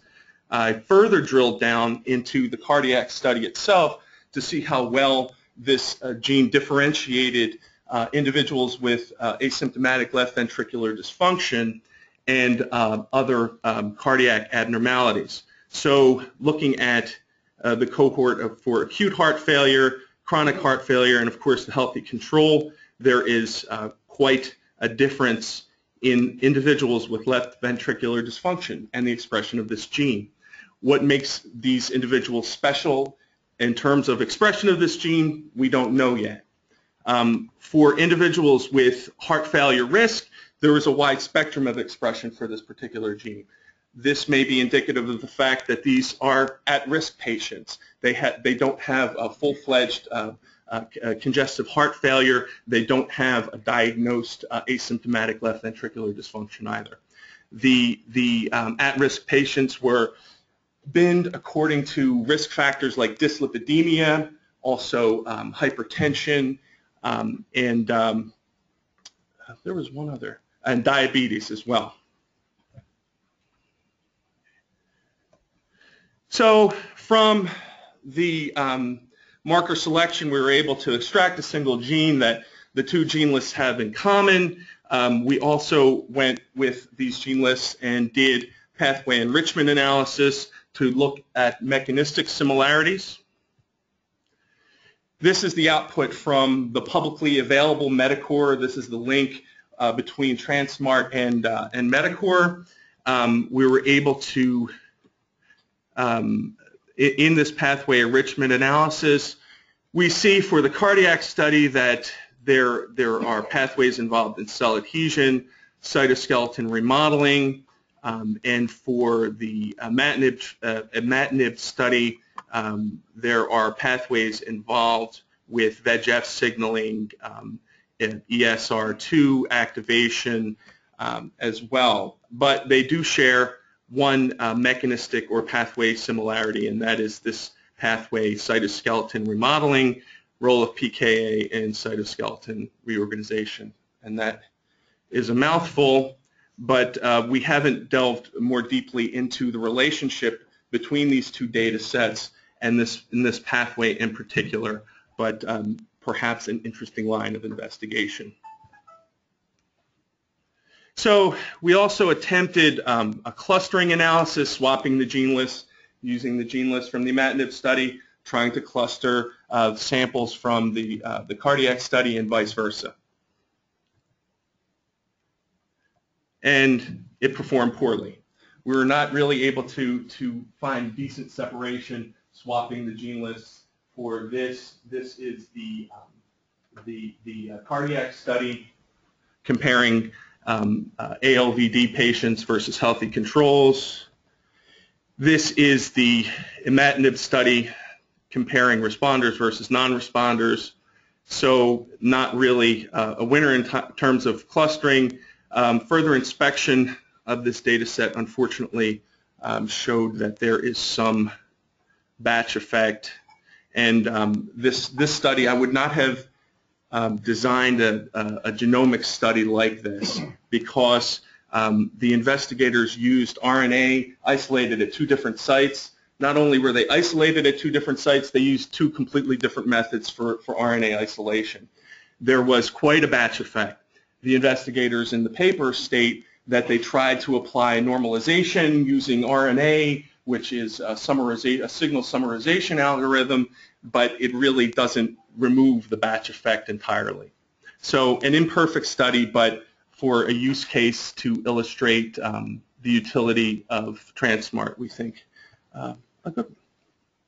So in summary, uh, marker selection analysis of these geo data sets yielded gene lists of, 90, of 92 and 54 genes respectively. They had one gene in common, um, voltage-dependent calcium channel this gene is downregulated in the uh, cardiac patients with asymptomatic left ventricular dysfunction and distinguishes um, ALVD from the other pathology studied. It's downregulated in non-responders to imatinib. Null mutants in mice display seizures, cardiac abnormalities, and premature death. So perhaps, um, perhaps a marker that's uh, worthy of further investigation um, pathway enrichment analysis for the cardiac study, pathways involved in cell adhesion and cytoskeleton remodeling. For the imatinib study, pathways involved in VEGF signaling and ESR1 activation. The data sets share one pathway, um, the significance of which remains to be investigated, and hierarchical clustering analysis shows poor performance with swapped with the swap gene list. Questions? Before we get to questions, I'd just like to add um, a plug for, again, for the Reagan-Udall Foundation and PredicTox. Uh, they are looking for partners. They need data, expertise, funding, and, uh, and other resources. A steering committee and working group are forming. Uh, there is no membership fee, um, and for more information, you should uh, contact uh, Nancy Beck. Any questions?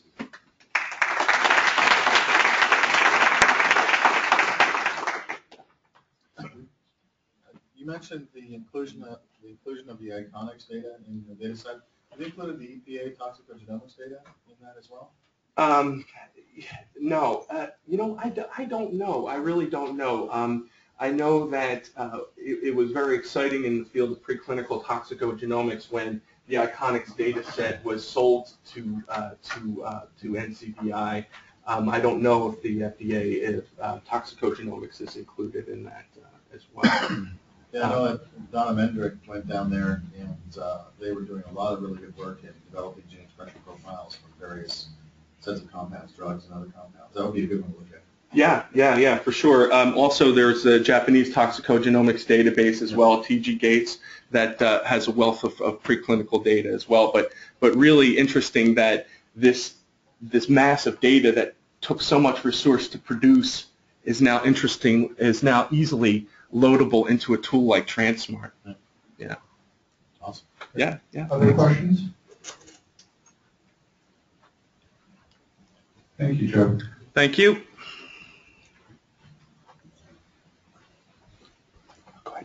Okay, so um, our next speaker is um, Peter Dressler from Elevada.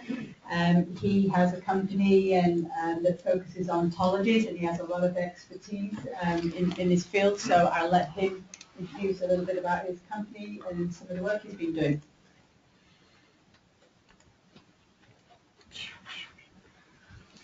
Uh, thank you, Julie. Uh, so I have uh, 16 slides on ontologies, and it's 8 o'clock at night, so I'll go real fast. Um, uh, so, and I've already been assigned my task by Julie, so I, I really am done here. How do I click? There we go. So elevada, we live in San Diego. It's a Spanish word. Elevada uh, uh, is a data management company. Uh, the commercial is we have an annotation platform for uh, uh, data like the data that gets loaded into Transmart, and uh, we think it's pretty terrific for that. we'd be happy to talk to you if you're interested in going faster for annotating data. Um, so we've been talking with Julie and the content committee about ontologies for uh, several weeks now, and uh, talking about, hey, what ontologies are we going to select for, see, I'm already going too slowly. What ontologies are we going to select for the content committee, or, or what ontologies would really matter? How could we make a difference for Transmart um, if we had these ontologies available? And so we, as a company, we just happen to have a test corpus of data uh, that we're working uh, with. Uh, actually, uh, starting to uh, automate annotation in Curator. We think that's uh, pretty exciting. Again, you should contact us at elevada.com if you're interested in automated annotation, but that's the end of the advertisement. So um, the test corpus, or the corpus that we looked at, it's 107 studies from GEO. I swear there's got to be a, a, uh, term, just another geo data set or something, GAGD or whatever, but um, uh, it was easily at hand to go out and uh, uh annotate uh, geo data uh, for this particular project. And our selection criteria right there. And so as we're talking about ontologies, hey, what ontologies would be useful? Um, something we were thinking about was, well, how actually, you know, what's useful for us uh, when we annotate the content, when we produce the data that would go into uh, Transmart. Uh, our annotation strategy was by Tanya. I'm, I'm excited that we're the second presentation in, the, in a row to mention Tanya because she is awesome. Uh, Tanya Casanova at uh, Rancho Biosciences. And uh, yeah, whatever. So um, the uh, hey, so the really cool thing, or, or this, I we feel like this is the slide that's most relevant to um, what we'd like to recommend to the content committee. So when we're annotating data, so this is Curator. This is the Elevada software product or version. Uh, the new versions can be way cooler looking or whatever. Um, so really importantly, when we go in and annotate data, what are we doing? Well, we're taking a look at characteristics. Some of the characteristics may eventually become dimensions. Others may not become dimensions for very esoteric and meta reasons. But uh, they're loosely um, loosely coupled with dimensions. So we're going in and annotating, hey, this is lung tissue, hey, this is myeloid cells. Uh, uh, uh, this we we're looking at a patient with these clinical characteristics. And so uh, the, the, number one thing we'd like to recommend to the content committee is um, when we're talking about ontologies uh, uh, for Transmart, to us, uh, the, the Elevada approach anyway is, generally speaking, we look at the dimensions first, and then, you know, honestly, uh, typically for a dimension, it, it usually turns out that some part of some ontology uh, that's you know either publicly or privately available is useful to annotate that specific dimension. So um, I might have written that in the latest version of the slides.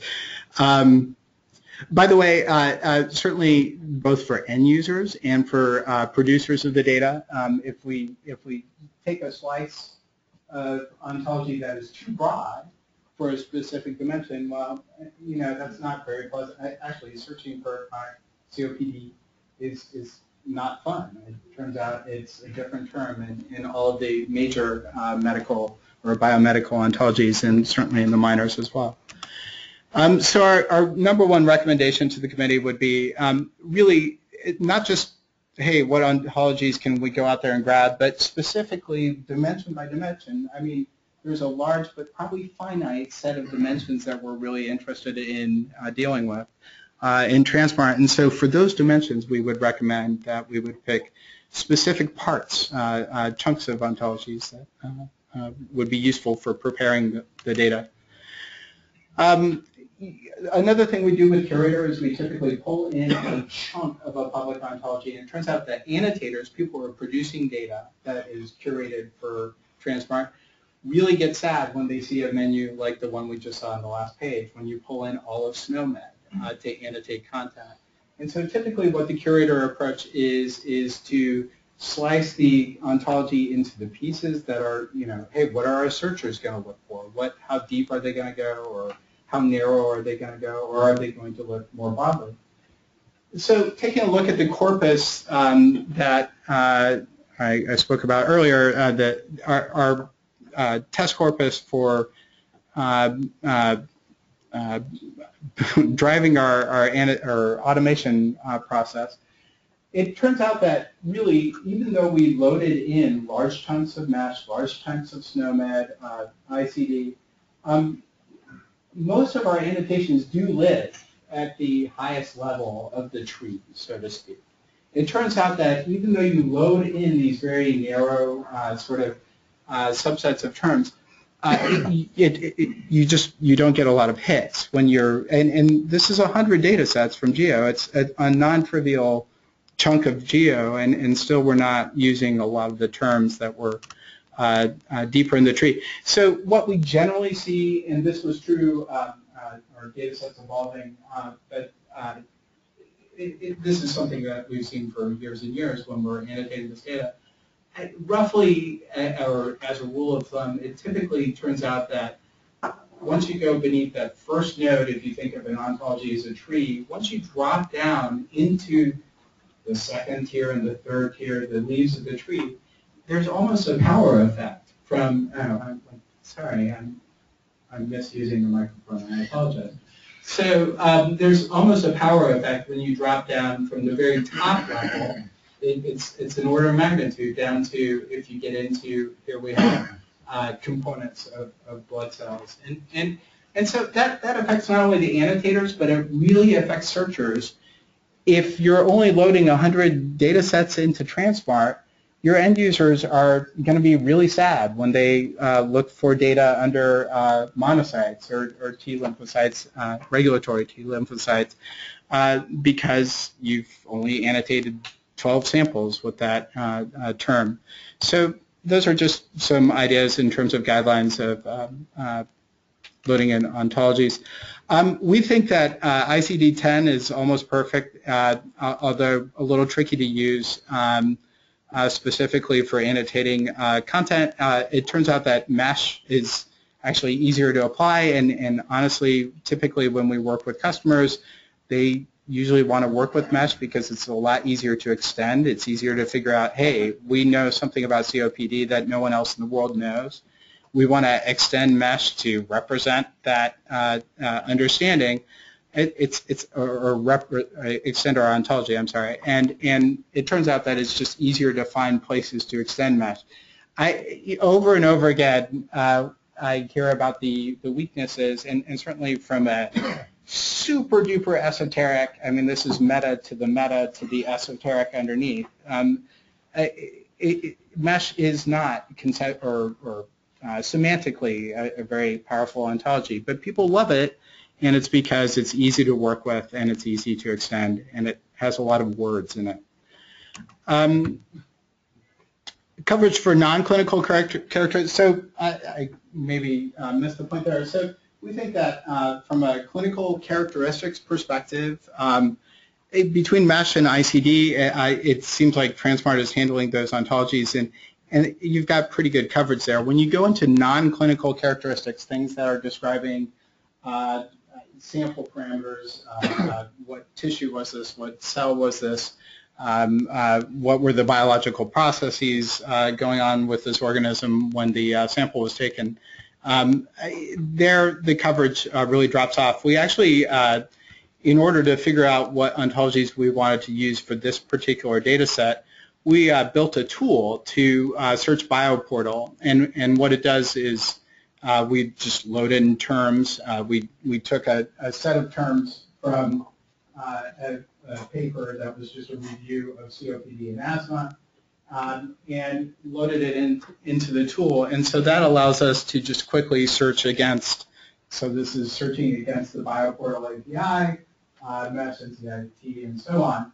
And uh, it turns out that indeed there's very um, broad coverage for terms, e even the most uh, sort of conceptual biological terms that you might think of, uh, there's very broad coverage in MESH and NCIT. When you dig into the sort of smaller or sort of niche ontologies, um, there actually isn't a lot of coverage. And in fact, MESH and NCIT, SNOMED uh, tend to even beat those sort of niche ontologies at their own game deep important issue and, and this to us is another point of emphasis that, that we would recommend to the, the committee is even uh, with majors uh, like MeSH and uh, NCIT and SNOMED, there's almost no concordance. Uh, and that's, I, I, swear I was talking about this at Pfizer literally 10 years ago. So uh, either we're poised to fix this problem or I've wasted 10 years of my life.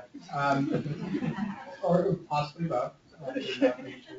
So, but I mean, the CD8 plus, but uh, this is a real thing, having a concordance between these terms, and it's, it's been a, a, challenge. And, and it, indeed, if you use the tool on the previous page, you can see very quickly that, uh, or on this page, if you plug in CD4 plus versus CD4 positive, um, you'll just have a lot of misses each time.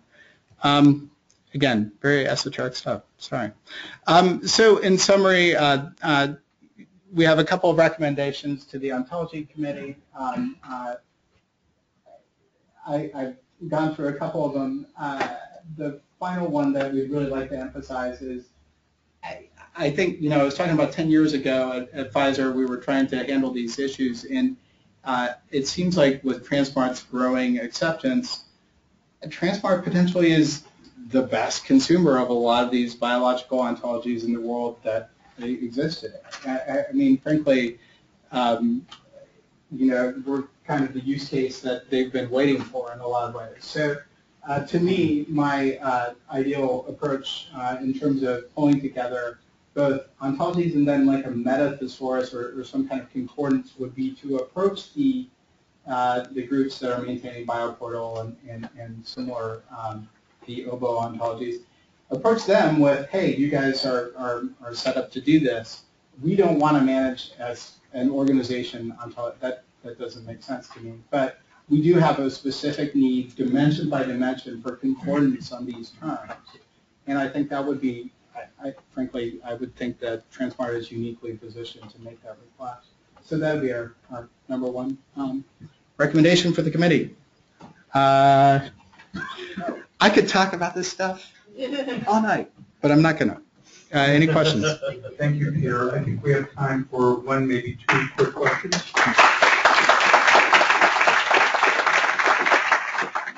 Questions or comments? Thank you, Peter. the next presentation go to BT? You can go BT. Did I do that? Yeah. So um, our, our next presenter is um, going to be Vlad, um, and he's going to tell you um, the latest of um, British Telecom Global's um, investment in Transmart and some of the new and exciting things that they're doing. Well, hello everybody. Sorry, I don't quite know how to use the microphone, so if it sounds fine, let me know. I was planning on going last. Therefore, I made a really long corporate talk, and then I decided, okay, fine, I'm not going to bore you with it. And so I'm going to talk very quickly, but if you desire, I can go much, much, more, much, much slower. So, um, and uh, if you've been following the development of Transmart uh, as a product, you probably know that uh, BT is supporting some of the major initiatives uh, within Transmart and supporting the foundation too. And uh, if you attended any trainings uh, conducted, for example, by Julie's team, you have already used BT's instances of Transmart. Thank you. and that was our past. this is a slide about our immediate future and how immediate uh, that may be uh, as early as you know tomorrow and some of it actually is already in existence and some of that may be happening in a month and of course I listed the datathon in the corner here um, under impression it will be happening imminently now I'm being told it's being delayed and something else so I'm not quite current but it's not tomorrow Not tomorrow. um, so I'd like to highlight uh, various uh, features of uh, BT's uh, instance of uh, Transmart that differentiates us from all other instances, like the one offered by IBM. Selfish, you know, um, shameless self-promotion on my part.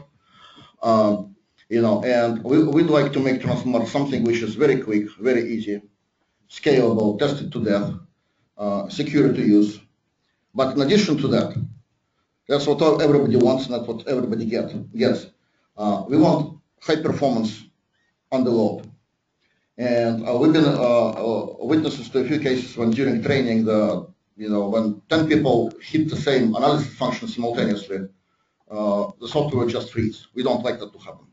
And we're inventing various clever ways without altering the source code base to avoid such situations.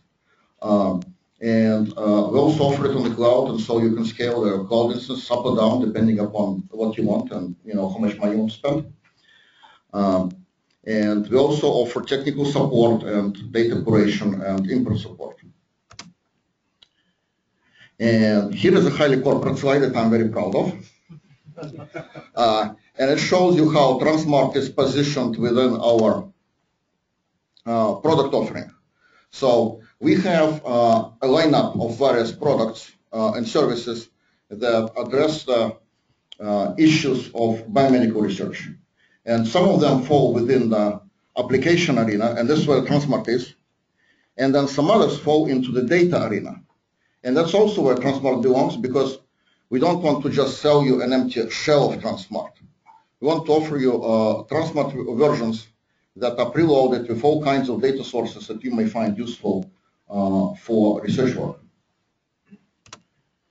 Um, and I just mentioned that, uh, you know, that's, that's tomorrow, that's an actual screenshot from uh, a virtual uh, desktop environment that I run, and that's the Transmart right there in the middle, so that's, that's actually already running on BT cluster. And that's probably the most important slide. Uh, that's beyond today's uh, environment and beyond you know, the BioIT World uh, conference. This is what will be happening very soon. And, you know, I'm not going to read the slide to you. I'd like to highlight your uh, attention on the most important parts. And most important parts actually on the bottom. Uh, part number one is Transmart with prepackaged data sets. Uh, we don't have it yet, but we'll have it soon. Uh, part number two is the life science research partnering ecosystem and we don't have it yet, but we have very high hopes for it, and we're going to have it soon. And uh, in particular, it will be supported by our marketplace, which I'd like to stress is different is distinct and non-competitive at all with the Transmart marketplace. So, uh, but it will be possible, for example, to offer all kinds of advanced statistical analysis, which is not, which is proprietary and not available elsewhere, or to advertise data sets that are proprietary and not available elsewhere and that are suitable to license restrictions through this marketplace. And this goes and beyond the open data scope of the foundation, uh, of course. Um, and, uh, you know, as such, gives you, you know, great, great ability to do, to do unique research. Um, and that's actually concludes my talk.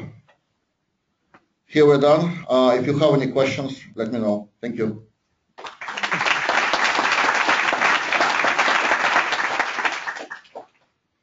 So any questions for Vlad? How are you planning to uh, package the data sets? And is that something that the community can use as well to package the data sets? So Jose is asking how, how do you plan to package your data sets? It was also part about community, right? Um, we will probably use community efforts and we'll go welcome community efforts in this packaging, right? Uh, some of the data sets uh, would be open, obviously, and some, you know, as I mentioned, some of them would probably would have to be, uh, you know, not open due to licensing restrictions. You know, if we have data sources that position themselves as such. Uh, but uh, the, the way that I envision it, that you would be able to spring up uh, an instance of Transmart with your data sets that you want with a single click, click preloaded, and uh, to the end user it would look like a menu with, uh, you know, with checkboxes. I want items, you know, A, B, E, and F. Click, click go, and there, there you have it. Terry? Um, it strikes me that uh, BT is in an excellent position to um, to uh, do some analysis of the failure modes of Transmart. You have multiple instances of Transmart running, and it would be really nice if we could begin to understand what the failure modes are and uh, perhaps even create scripts uh, and tools to um, to detect failure modes and, and uh, alert uh, the IT staff. Well, and as a matter of fact, we'd love to do it too. And uh, we already done the first step in that direction, committing the you know couple of bug observations to the Transmart Jira. Uh, and uh, you know, if you want further contribution, just let us know.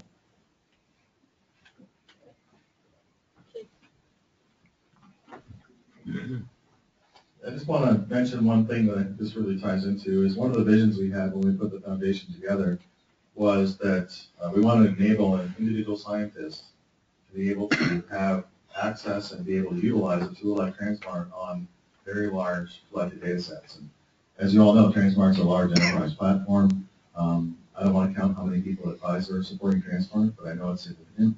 Um, but one of the key things I think is democratizing data is to make this available such that you can get Transmart running with the data you need to do your science by going to one place, clicking one button, and it's running.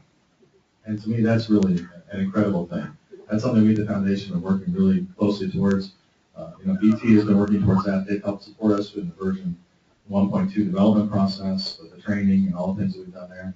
And I think all working together, we can realize very soon this vision of a real, you know, one-click deployment of an enterprise-class platform with the data you want in it. And I'm hoping we can get data like the Michael J. Fox data and others through our data datathons available in these kinds of mechanisms. This is how individual scientists will be enabled to do real, you know, cutting-edge science on massive data sets. And I think that's a real vision that we have at the foundation. I want to thank these guys for, for helping us realize it.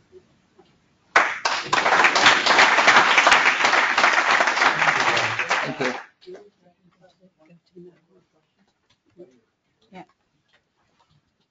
You gonna answer the question about how many, Jay? No. Well, when I said one Not place, qualified to answer. it is sales partner really, it's probably going to be five, please, but you'll forgive me.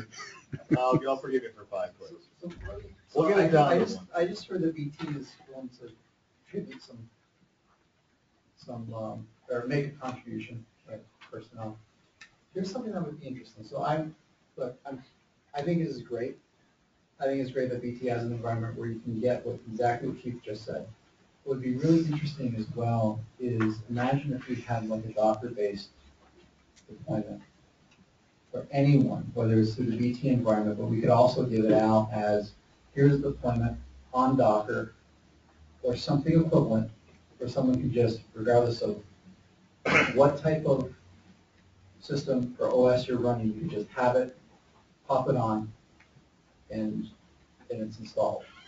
That would be something I think really, really interesting, and it'd be great with BT's experience to help put ourselves in a position not only to leverage the BT environment, but also potentially put us in a place where anyone on their systems can have access to these types of, you know, these types of deployments. That would be beautiful, really beautiful. So, and and it'd be great to have uh, BT help us get to that kind of future. Thanks. Oh, thank, thank you for the comment. I cannot obligate BT on anything, but thank, thank you for the comment. I mean, I, I assume you're already obligated. we try to obligate them as much as we can. But, um, uh, Jay, I think your point is well taken. One of the things that we did to make Transmart more accessible was, starting with version 1.2, is you can download a virtual machine image, run on VMware or keeping with the open source VirtualBox, um, and run that on the platform. In fact, one of the tests I gave to the development team was, unless I could download it and install data, it's not ready yet. And, and I can, so I think that's really amazing. But your, your comment, I think, is terrific, Jay, is we need to get to the point where we can download deploy fully loaded, fully implemented, or with, you know, a, an empty version, get that uh, Transmart ready data and load it in and use it very quickly, very efficiently, so that a single end user that's, you know, as naive as I am, can make that work. And that's the real thing through cloud-based platforms. Um, I think, you know, Time Warner and Comcast get together, we're not gonna be able to down, download big data sets over the internet, but, um, but otherwise, um, if we can have them on the cloud, when you've got, you know, terabytes level, maybe even growing petabyte level, uh, data sets, uh, being able to run those with click in the cloud to me is, is exactly where you want to be. Uh, and getting high quality data sets like PPMI and First2 and BioFIND there, and showing this utility through working with scientists like that, I think is a way that we, we help build out that part of our community. And I think British Telecom have been a great supporter of the foundation, so whenever asked, we've asked them for help on more space, on more instances, they've always said yes and they've always done it, so we really appreciate it. Yes, I, I echo that, Yeah. very much so. So we're on the last final talk, guys. So um, this is going to be a presentation given by uh, Victoria Andreeva, and it's going through um, a use case of Merck.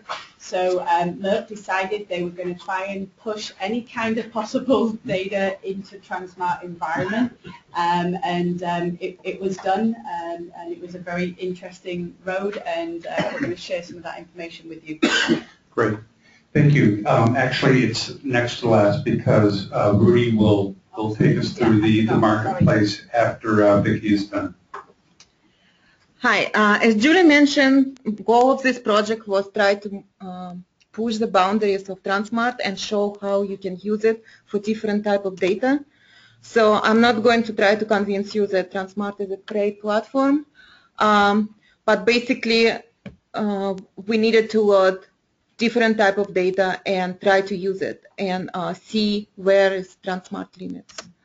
So the data, uh, the, the selected data were um, TCGI dataset uh, using colon and head and neck cancer, which uh, had about 1,000 patients, and it had all clinical DNA-seq, RNA-seq data. Uh, RNA-seq data uh, was um, transformed into FPKM as well as um, mutation type of data. DNA-seq was transformed into SNP data.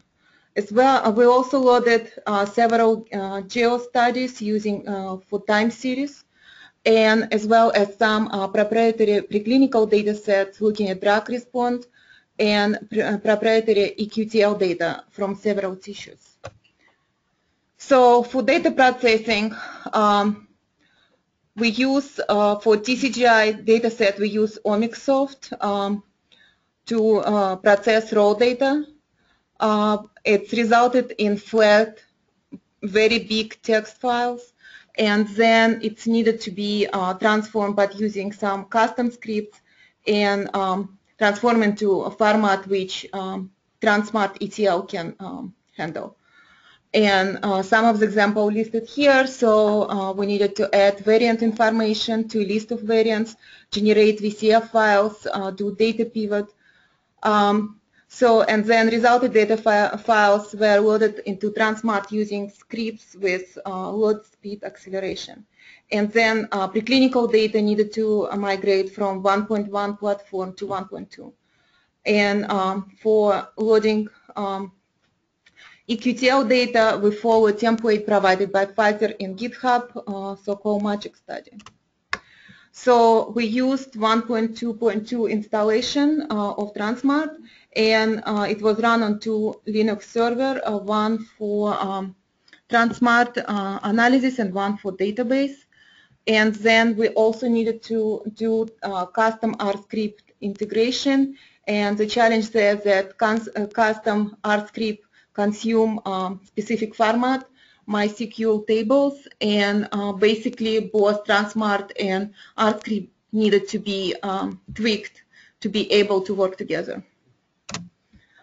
Um, so Rancho provided RScript that would uh, generate different plots from in vivo oncology stud, uh, study data and um, which allow directly query original MySQL uh, database and then convert MySQL database into Oracle schema and um, convert script to work with Oracle schema as well. Um, and it's needed to be, um, everything needed to be converted to work with uh, Transmart uh, uh, standards and it's been loaded in Transmart model. Um, for to show functionality, we also needed to make sure that everything working. So for SNP data, we needed um, genome browser working.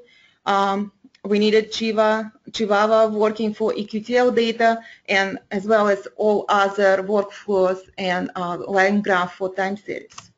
So it's all been loaded in Transmart and it just shows that um, what type of um, analysis you can do and uh, this is showing EQTL comparing proprietary set to magic set using Guava and um, another example of analysis, um, joint analysis, where um, CTGI dataset didn't have uh, EGF receptor annotation for colon cancer, and it has been shown in some publications that it has a role in this type of cancer. And then we created um, gene signature using patients uh, from um, uh, head and neck cancer, which had this type of information, and then using this uh, gene signature to um, do clustering for uh, colon cancer.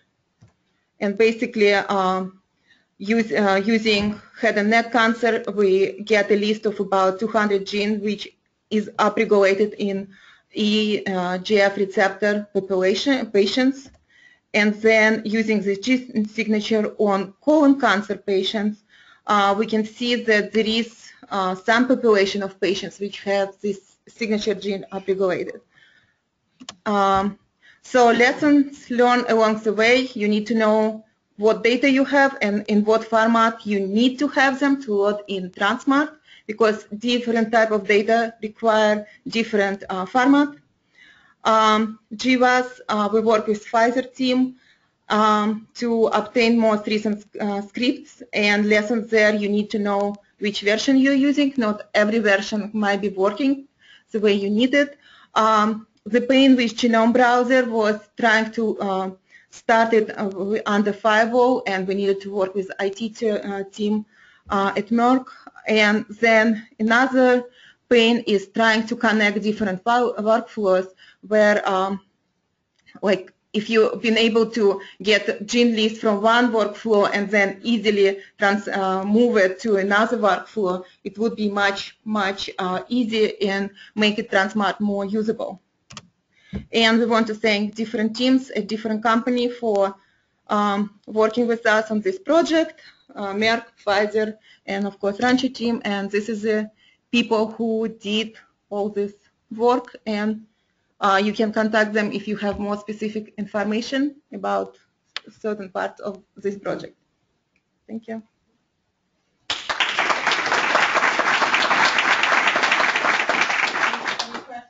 I want to thank Jay. So I haven't done my presentation. I- No, I, yeah, thank these guys. So I, I, I have a presentation, but I haven't done it. So the- with the GWAS data, we, we couldn't get the scripts to work, so we, I- I'm like, Jay, dude, I need your help. And, uh, and so he got his team together and our team worked with his team and that, and it was a really collaboration and that, there was no money in it for anyone and that. And that, and it was, it was really, really good and that, and we managed, we, we kind of redid the scripts and then we created all the documentation. And so all of this is in GitHub now, so everybody else doesn't have to go what, through what we did, so you guys can, you can all, you know, take the benefit of that. But, you know, it, it was really, really nice and kind of you guys, so really appreciate it. Is is it obvious where in GitHub it is? It, it is, so if you wanna, if you can pull up my slides, I'll, I'll show you. Um, escape. Do you want to go to your presentation? Yeah, the GWAS one. This one? Yeah. There. So that, that's the link. github.com slash Rancho Biosciences. And so, so that's, we've got all this, we've got the ETL loaders and the documentation and the scripts and every, everything there. Yeah. Julie, I mean, some of these firewall-based issues, have those been documented in a way that we can uh, address? I think it's going to be in that 1.2 paper, um, Okay. the, the, the technical paper that we're putting together, and that, and then also this server ended up being on Red Hat. So when we went into it, we said it doesn't work on that, sort of like Yeah. we're not doing that, and like here we go. Often you send So, it to us, so we made it work on, on, on Red Hat, and then there were, you know, the genome browser, you know, it, when we, because we do our test versions, and it was working there, mm-hmm. and then it won't work in their versions, and then we found out it was firewall issues, so then you've got to get all kinds of IT groups involved and that to get those things changed. Well, there, there are often some simple fixes on the coding side to get through firewall issues in terms of port assignments and things of that nature. Yeah, So those can be documented and provided to the team, particularly in the 1.3 development process, okay, we might be able to address those more effectively. I know that a lot of our development teams are working with, you know, academic centers and people running things on the cloud where they don't have those issues. right. And if you have them specifically, I'm sure there, there are simple ways to address some of those. Yeah, we're having it with quite a few of the pharma with the genome browser and that, Well, so I I'll, let's I'll get get Alex, experience in to- the I'll get Alex. development team. So let's thank uh, Julie and all the presenters that really presented around conference. So Rudy will uh, conclude uh, our presentations tonight with an update on work that's been going on around the Transmart Marketplace, and uh, they'll also, uh, uh, hot off the presses, uh, show the, the awards that all of you had in one way or another have, have played a part in, in making happen.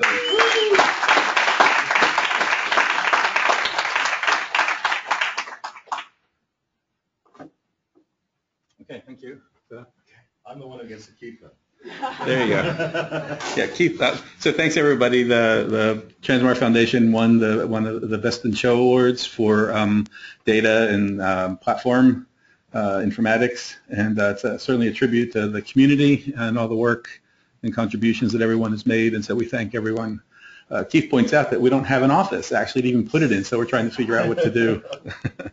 But Tell- um, Tell them about the, the one reviewer. yeah, the you know I, I was talking to the to the um, CHI folks when they uh, brought this over to me, and they said uh, something happened that we've never seen before. One of the reviewers, when they were going through, so we, we had the judges come by and talk to us this afternoon, and Keith gave a, a stimulating and exciting uh, presentation to them.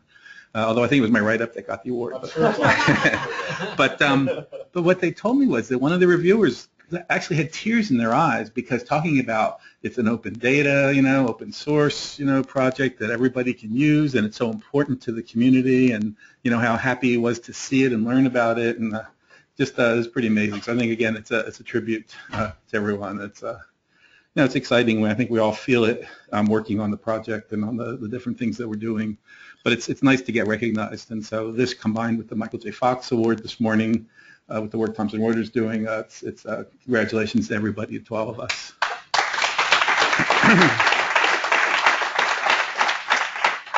I know it's late. I don't want to take up much time. You know, marketing uh, is important, though. I think it's it's good to get the message out. Uh, I'm still getting people coming to the booth saying, "What is Transmart? I think I heard about it somewhere." And of course, that uh, well, I used it two years ago, and it was terrible. And you know, and so we're we're we're all still you know kind of struggling with that. We're working hard. You know, we've got our booth now. I hope you all have come to see it. Come to see it. Uh, we're there again tomorrow, uh, number 113. Uh, so please stop by if you haven't seen it. Um, kicking up our, our efforts on, on our web traffic in terms of you know the, the website. I'm trying to keep it up to date. Lots of stuff in it. Uh, not many people visit it yet, and I think you know there's stuff there that they probably could help you to take a look. Um, we've got a social media team now working with us. We're, we're trying to get tweets out, and we're now on Facebook. So you know there's there's a lot of stuff that we're trying to push out and get you know information out. I'm disappointed people said, you know, they know the datathon got postponed, and you know, we we put it out every place we could think of, and so you know, we're we still have a ways to go there, but you know, I think there's a lot of uh, information uh, that is uh, useful. Um, we've now released this week the documentation, so the first formal release of the, the documentation for 1.2. Um, you know, it's uh, a lot of people in this room contributed a lot to that. You know, when you have an open source, you know, with a lot of contributions, it takes a bit of time to pull all the information together. And I thank you all for, for helping so much. And, uh, you know, especially Terry has been kind of one of the key, key keepers there. And, uh, but so many people, it's, it's been really good to see. So it's out there. It's on the, the web. You know, you can get uh, access to it if you need it. Our training program is in full swing, thanks to, to Julie and Rancho, thanks to uh, Thomson Reuters. Um, we had, uh, we're, we're if you don't know this, uh, every month we've got a free training class now for, for uh, introduction to Transmart. Uh, the first week, the first month, we didn't really know what was going to happen. We had 13 people. We had 47 attend uh, just a few weeks ago, and we've already got 16 registered for Monday. So really excited. It's this is getting you know new people you know to learn about the system and understand you know kind of what we're doing, and we'll continue that.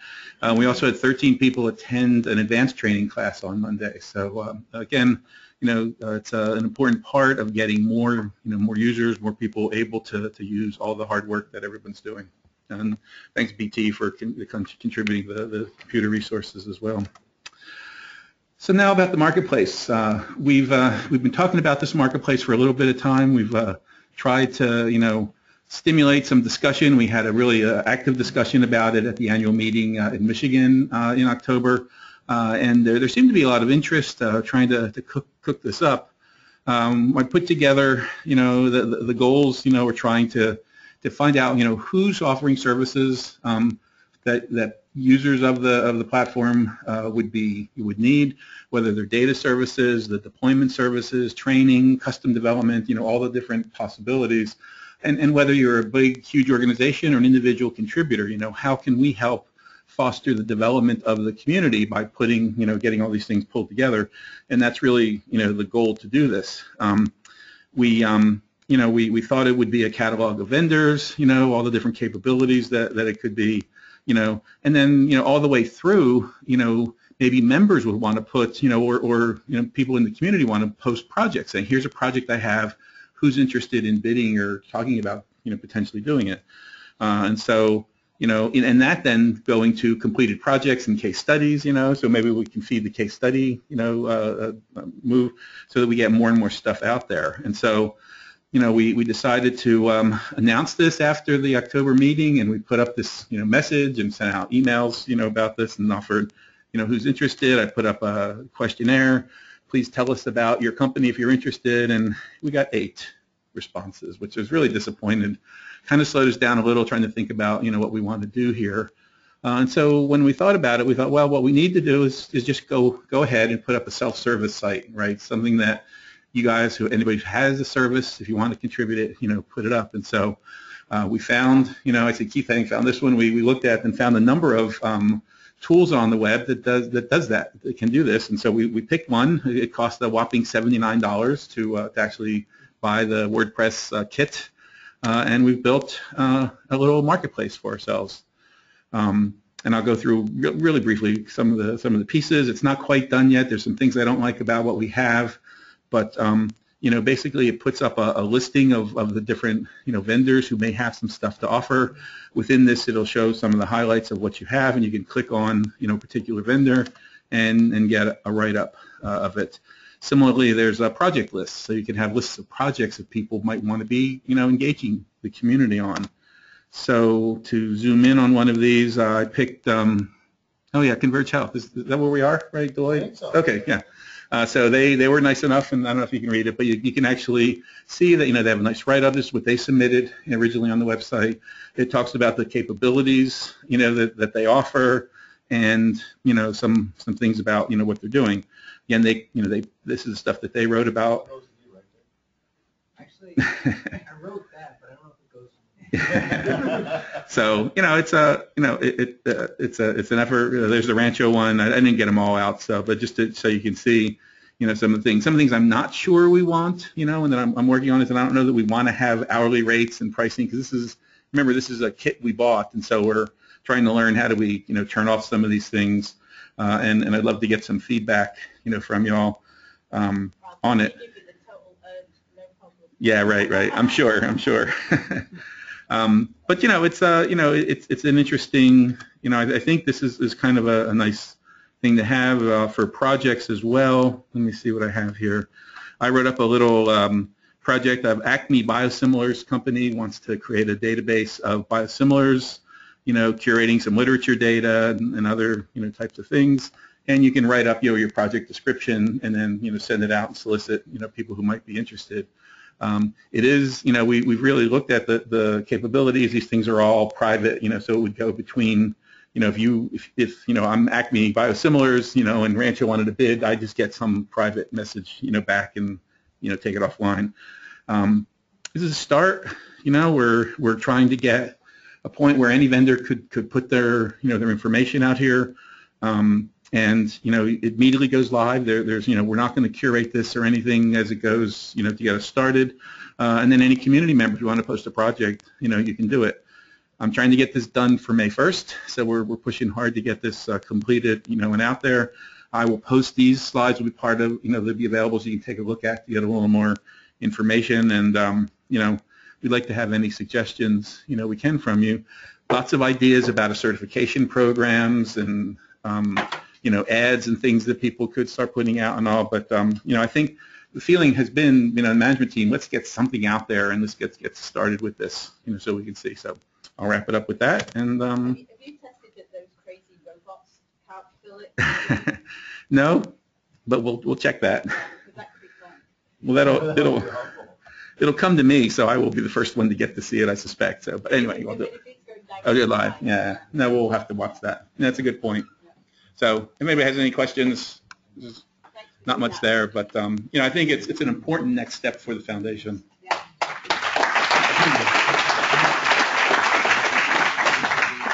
Okay, and any quick questions or comments for, for Rudy on the marketplace? Or anything marketing. Or marketing more generally? I'd like to say thank you. I think you're doing a great job. Thank you. Sure. Assuming, being a, a, a neophyte, uh, assuming that there can be links to the GitHub projects in the marketplace, because that's the first place that I would go. Sure. I mean, I, I think we can do a lot. You know, there, there's a lot of different, you know, um, links and things we can put in. Even, to, you know, we have case study uh, section now on the website. And so, yeah, I mean, I'm, I'm hoping that we can put a lot of that in. Maybe you can contact them for like an initial project. As Yeah, as a that would be great. Test case. Sure. That'd be great. Yep, super. Awesome. So Keith, why don't you uh, make whatever closing remarks you'd like to make and uh, we'll let everybody free for the rest of their evening. That sounds great. Uh, I just feel like coming up with some hardware. I mean, this is really cool, right? And this, what, what's great about this is that this, these are earned by the community. You know that, you know, Michael J. Fox Foundation, working with Thomson Reuters, working with the foundation, and everybody. Let's see, how many developers worked on 1.2 again, Terry? 110 developers worked on 1.2. Uh, this is really a community effort. I think we all should be proud of this. I'm really happy with what we're doing on the marketing side, making a name for the foundation, making a name for the platform, making a name for the community. And, and even, as Ken and as I were talking, I think that there are a number of things that we need to focus on. It's not just about the platform. It's not just about getting content on. It- It's really about the community effort. And as Ken said, it's a movement. We are trying to get data into the hands of people that can really put it to work and make the discoveries that need to be made. And that's what Michael J. Fox Foundation is doing. That's what Merck is doing. That's what Pfizer is doing. Uh, this is something I really enjoy being part of. So I want to thank you all for, for working together and congratulations to everybody.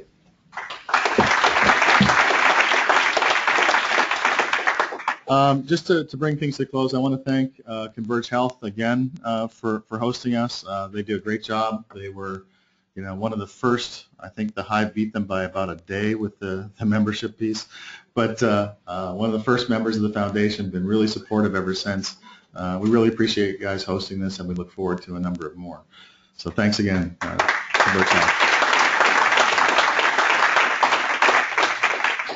Kevin tells me that if you're trying to catch a shuttle, there is one left, or there might be one left, but you're probably going to have to go and check and hurry. I don't know if we can get an update on that. John, David, do you know?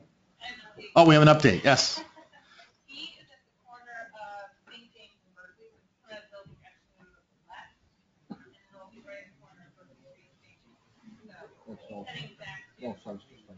Great, corner of James, St. James and, and Berkeley, and the shuttle will be there.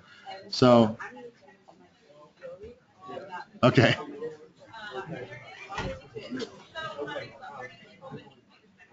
There's a shuttle coming for 30 people, I hear, and if we need more, they'll come around again. You'll just have to have a drink and wait in the meantime. So thanks everyone for coming, uh, and uh, we'll see you again next year. Thanks.